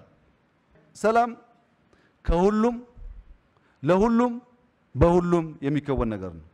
ሰላም ጠባቂ የተለየ ኃይል፣ ሰላም ጠያቂ የተለየ ኃይል። እንደዛ አይደለም። እያንዳንዳችን ውስጣዊ ሰላም ኖሮን አካባቢያችንን በህብረት ሰላም ማድረግ ስንችል የሚረጋገጥ ጉዳይ ነው። የውስጥ ሰላም ነው የውጭ ሰላም የሚያረጋግጠው። inner peace ነው outer peace የሚያረጋግጠው። በውስጥ የታወከ ሰው ሰላም ሊሰጥህ አይችልም። የግለሰብ ሰላም፣ የሀገር ሰላም፣ የሀገር ሰላም የግለሰብ፣ የቡድን፣ የቀበሌ፣ የወረዳ ሰላም ነው። somewhere ችግር ካለ ሁላችን እንታወቃለን። ሰላም የአንደኛው ግለሰብና ቡድን ዕዳ ለሌላኛው ምንዳ ሊሆን አይችልም። ሰላም የሁላችን ምንዳ ነው። ሰላም የምናደፈርስ ሰዎች ለአንዳንዶቻችን ምንዳ፣ ለሌሎች ዕዳ እየመሰለን ከሆነ ተደምሮ ጥፋት ነው። ሰላም ለሁላችን ምንዳ ነው። ለማንም ሰው ዕዳ መሆን አይችልም። የኔ ሰላም በአንተ ሰላም ውስጥ፣ የአንተ ሰላም በእኔ ውስጥ ይኖራል። የአንደኛው ሰላም በሌላ ውስጥ ስላለ ሰላም በጣም ውድ እንደ ውሃ እንደ አየር ውድና አስፈላጊ ነገር ነው። ግን ውሃ እንደምናቆሽሸው አየር እንደምናቆሽሸው በጣም ቀላል ሰዎች የሚያቆሽሹት ጉዳይ ነው። ሰላም ልክ ውሃ እንደምናበላሸው ሰላም የሚያበላሹ ሰነፎች ናቸው። ለሁሉም እንዳ ስለሆነ እያንዳንዱ ሰው በሰፈሩ የሰፈሩን ሰላም መጠበቅ አለበት። የሰፈሩን ሰላም ማረጋገጥ አለበት። እስካሁን primarily primarily ከሌላ ቦታ ሄዶ ሰላም የሚያናጋ የለም ባይባልም ውስን ነው። አብዛኛው የሰላም መደፍረስ የሚመጣው በዛው በቀበሌያችን በወረዳችን ውስጥ ነው። አብዛኛው እሱን የማረጋገጥ ስራ የሁላችን ተግባር መሆን አለበት። ሞራል፣ ሌብነት፣ ዕዳ፣ ለጋስነት፣ አዛኝነት፣ ደግነት ምንዳ ነው፣ ኪሳራ አይደለም። ስንፍና ዕዳ ነው፣ ትጋት ምንዳ ነው። የሐሳብ የቃል የግብር ስምረት ምንዳ ነው። የምትናገረውን ጻፈው፣ የምትጽፈውን አስተምረው፣ የምታስተምረውን ተግብረው። ያ ምንዳ ሆኖ ያግዝሃል። ሐሳብ ቁስን፣ ሞራል ደግሞ ሐሳብን ይገዛዋል። idea ቁስን ይገዛል። ሞራል ግን ራሱ idea ን govern ያደርገዋል፣ ይገዛዋል። የሞራል intelligence በጣም በጣም important ነው ለሐሳብ ጥራት። የሁሉም ዕዳ መሰረት የሞራል ውድቀት ነው። የሁሉም ችግር መሰረት አባካኝነቱ፣ ስንፍናው፣ በገባነው ቃል መሰረት አለመፈጸሙ የሞራል intelligence ድካም ውጤት ነው ዕዳ የሚያበራክተው። የሁሉም ምንዳ መነሻ የሞራል ልዕልና ነው። ሰላም እንቅልፍ እራሱ ሰላም፣ ልማት መከናወን፣ መጀመር፣ መጨረስ በቀጥታ ከሞራል intelligence ጋር የተሰናሰሉ የተያያዙ ናቸው። morally intelligent ካልሆንክ ትጀምራለህ እንጂ አትጨርስም። because መጨረስ commitment፣ devotion፣ conviction ይጠይቃል። ይሄ የሞራል ጉዳይ ቸኩሎ harvest ማድረግ ሳይሆን የሚጠይቀውን ጊዜ የሚጠይቀውን ገንዘብ የሚጠይቀውን የጭንቅላትና የጉልበት ውህደት የ idea ልዕልና መገንዘብ ያስፈልጋል። አንድ ሰው አንዲት እንቁላል የምትጥል ዶሮ ነበረች። በየቀኑ አጥለም እንቁላሉን። ሁለት ቀን ሶስት ቀን ቆይታ እንቁላል ጥላለች። የምጥለው እንቁላል ግን ወርቅ ነው። ሁለት ቀን ሶስት ቀን ቆይታ እንቁላል ጥላለች። የምጥለው እንቁላል ወርቅ ነው። ይሄ ሰውዬ በጣም ብዙ ወርቅ አርቨስት ማድረግ ፈልጓል። እቺ ዶሮ ስስታም ናት። በሆዷ ውስጥ ደብቃ ይሄን ወርቅ እየቆየች ጠብ ታደርግልኛለች እና አንዴ ሁሉ ወርቅ መውሰድ አለብኝ ብሎ አረዳት። ሲያርዳት ሆዷ ውስጥ ምንም አይነት እንቁላልም ወርቅም የለም። ጊዜውን ጠብቆ ሊወለድ የሚገባውን ወርቅ ዛሬ ሰበስባለሁ ለብታርደው ባዶ ነው፣ አታገኘውም። ጊዜውን ጠብቆ የሚሰራ ሀገር የሚሰራ ተቋም ዛሬውኑ አናግቼ ብትል ይፈርስብሃል፣ አታገኘውም አታገኘውም። ሂደት ራሱ ጊዜ የሚጠይቀው ነገር አለ። ሞራል፣ ገርነት፣ ደግነት በሰው ጉድለት መደሰት ሳይሆን በሰው ስኬት መሳቅ ነው፣ መርካት ነው። ፍሪሊዮን ፍሪሊዮን ከዚህ ቀደም ስናገር ሰምታችሁኛል። ሀሳቡ የመጣው ድንገት ነው። ዳቮስ ለሆነ ኮንፈረንስ ሄጄ በርቀት ጽሁፍ ላይ billion worth idea ይላል። እኔ ጨርቋ ጥፍ ብላ ቢ አልታየኝም። ፍሪሊየን worth idea ብዬ አነበብኩት እና በጣም እየተደነቅኩኝ ፍሪሊየን እና idea ን እያገናኘው አንድ አስር ደቂቃ የሚሆን አምስት ደቂቃ እየተጓዝኩ በረዶ ስለነበር መኪና አይፈጥንም። ቦታው ስደርስ ለካ ፍሪሊዮን ሳይሆን ቢሊየን ነው የሚለው። ወዲያው የማይረቡ ሰዎች ናቸው። እንዴት idea ን ቢሊየን ይላሉ? idea በቢሊየን ሊገዛ አይችልም፣ ከቢሊየን በላይ ነው፣ ፍሪሊየን መሆን ነበረበት ብዬ ስህተቴን እውቀት አረኩት። አሁን ፍሪሊየን መጽሐፍ ሆኗል። በጣም በጣም የሚገርሙ እሳቤዎች በውስጡ አሉበት። ዋናው እርካታን የሚፈልግ ግለሰብና ቡድን ነፃ መሻቱን ፍቃዱን በበጎነት መሙላት አለበት። በደግነት፣ በመስጠት፣ በማካፈል፣ በማዘን መሆን አለበት። ያን ካደረገ እርካታው የማይነጥፍ የሁል ጊዜና ውስጣዊ ይሆናል የሚል ነው እሳቤው። ሰው ሁሉ እንደምናስበው መጥፎ አይደለም። ሰው ሁሉ ገዳይ አይደለም። ሰው ሁሉ ጨካኝ አይደለም።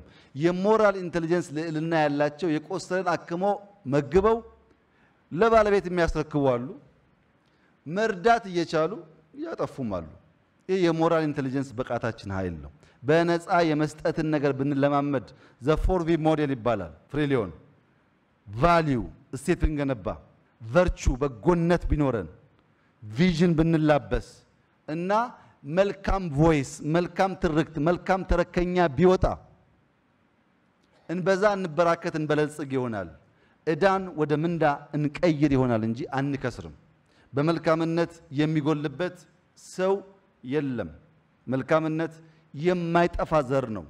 ያን በመዝራት ዘመን የማይሽረው መሪዎች መሆን ይኖርብናል፣ ይኖርባችኋል። ከዕዳ ወደ ምንዳ ፍጥነትና ፈጠራ በመፍጠር አቅጣጫን መቀየር መፍጠን ያስፈልጋል። በመፍጠን ወደ መዳረሻ መገስገስ ካልፈጠርክ በነበረው መንገድ ከሄድክ ለውጥ አይመጣም። ካልፈጠንክ ደግሞ ባጠረ ጊዜ የምትፈልገውን ነገር አትጎናጸፍም። መፍጠርህ አማራጭ መንገድ ያበራክታል። መፍጠን ደግሞ በቶሎ ደርሰህ እንድታሳካው ያደርግሃል። በመፍጠር አማራጮችን ማብዛት ያስፈልጋል። እየፈጠርን alternative ማደጊያ መንገዶች ማብዛት አለብን። በመፍጠን ውጤቶች እውን ማድረግ መጨበጥ አለብን። ካልፈጠንና ካልፈጠርን ባለብን ዕዳ የመሬት፣ የ environment፣ የአየር፣ የውሃ፣ የ energy ብድር በርካታ ዕዳዎች ያሉበት ሀገር አሁን በምንጓዘው pace ተጉዘን አሁን ባለን speed ተጉዘን ውጤት መጨበጥ እንቸገራለን። ውጤት ለመጨበጥ መፍጠን ብቻ ሳይሆን መፍጠር ያስፈልገናል። በጣም ብዙ የፈጠራ ብቃት መጠቀም ያስፈልጋል። በመፍጠር ያልታሰበውን ማሰብ፣ የማይታየውን ማየት፣ በመፍጠር የታሰበውን መጨበጥ ያስፈልጋል። በመፍጠርና በመፍጠን ውስጥ ያለውን ትስስር በደንብ ተገንዝበን መሄድ አለብን። የምንሰራውን ሜንቴን ማድረግ አለብን። ሰርተን እሱ እየወደመ የምንቀጥል ሳይሆን የምናኖር የምናነብር መሆን አለብን። የተሰራው ሳይበላሽ እንዲቆይ የምናደርግ ለምሳሌ ስንዴ ጥሩ መጥቷል። እሱን ጥለን ሌማት ካልን አይሆንም። ስንዴም እንዲቀጥል አድርገን ሌማትን መምራት ይገባናል። ማንበር አለብን። የቀደመውን ድል ማጥፋት የለብንም። ለዚህ ደግሞ owners መሆን አለብን። የተከበራችሁ ብልጽግና አመራሮች፣ ኢትዮጵያ ሀገራችን ናት። የተውሶ ሀገር አይደለችም። የእኛ ሀገር ናት። የልጆቻችን ሀገር ናት። የአባቶቻችን ሀገር ናት። እኛ owner ነን። እንደ ባለቤት እንደ ራስ ዕቃ መጠበቅ አለብን። ሰው ስልኩ እንኳን ሲወድቅበት የሚንቀጠቀጥ ሰው ኢትዮጵያን የምታገል ውድ ነገር ስትጎዳ፣ ስትበደል፣ ስትፈርስ ቆሞ ማየት ከባድ ነው። ሀገር አትተካም። ሀገር ብርቅ ናት። ሀገር ውድ ናት። ሀገር ግን የሁሉም ናት። ባለቤት ሁነን በኃላፊነት ስሜት ብንሰራ ይሄን የዕዳ ይሄን የችግር ይሄን የስድብና የውርደት ስማችንን አንስተን ቢያንስ ቢያንስ ራሷን የምትችል በሌሎች የማትንኳሰስ የማትዋረድ ኢትዮጵያን ለመፍጠር season እድል አግኝተናል። አጋጣሚ ሆኖ ምርጥ idea ም አለን። ብንሸከመው ተቋም ብንሰራ ብንታመንለት moral intelligence ኣችን ቢያድግ አትጠራጠር፣ የበለጸገች ያማረች ኢትዮጵያን መፍጠር እንችላለን። ለዚህ ደግሞ እኔ ያለኝ እምነት እናንተ ትችላላችሁ። 99% እዚህ ያለ ሰው ሀገሩን የሚወድ ሀገሩን ልትቀየር የሚፈልግ ከሌላ እምነት ብሔር ጋር በሰላም መኖር የሚፈልግ በሰላም መኖር ውስጥ ትርፍ እንጂ ኪሳራ እንደሌለ የሚያስብ አንዳንድ ጉዳይ ቢያጠራጥሩትም እየጠየቀ more ለማመን የሚፈልግ የብዙ ቅን ልቦች ስብስብ ናችሁ። ይሄን በተግባር እናሳይ። ዘንድሮ በብዙ ረድፍ ውጤት የምናመጣበት ዓመት ነው። የሚቀጥለው ዓመት ከዛ የሚቀጥለው ዓመት ሶስቱ ዓመት ኢትዮጵያ ጭላንጭል ብርሃን የሚታይባት ማደግ ትችላለች የሚባልበት የጀመርነውን የምንጨርስበት ለስኬት ፋውንዴሽን የምንጥልበት ዘመን ስለሆነ እናንተ ብርቱ የኢትዮጵያ ልጆች በከፍተኛ ታማኝነትና በኃላፊነት ስሜት የሰማችሁትን የተወያያችሁበትን ውስጣችሁ የሚያስበውን ቀና ቀና ነገር ሁሉ ሞራል ኢንቴሊጀንሳችሁን ገንብታችሁ ለማሳካት የምትችሉ የምትበቁ የምታዩና ልጆቻችሁን በአዲስ የታሪክ ጥፋት የምታረኩና የምታኮሩ ልትሆኑ ያብቃችሁ። እጅግ አድርጌ አመሰግናለሁ።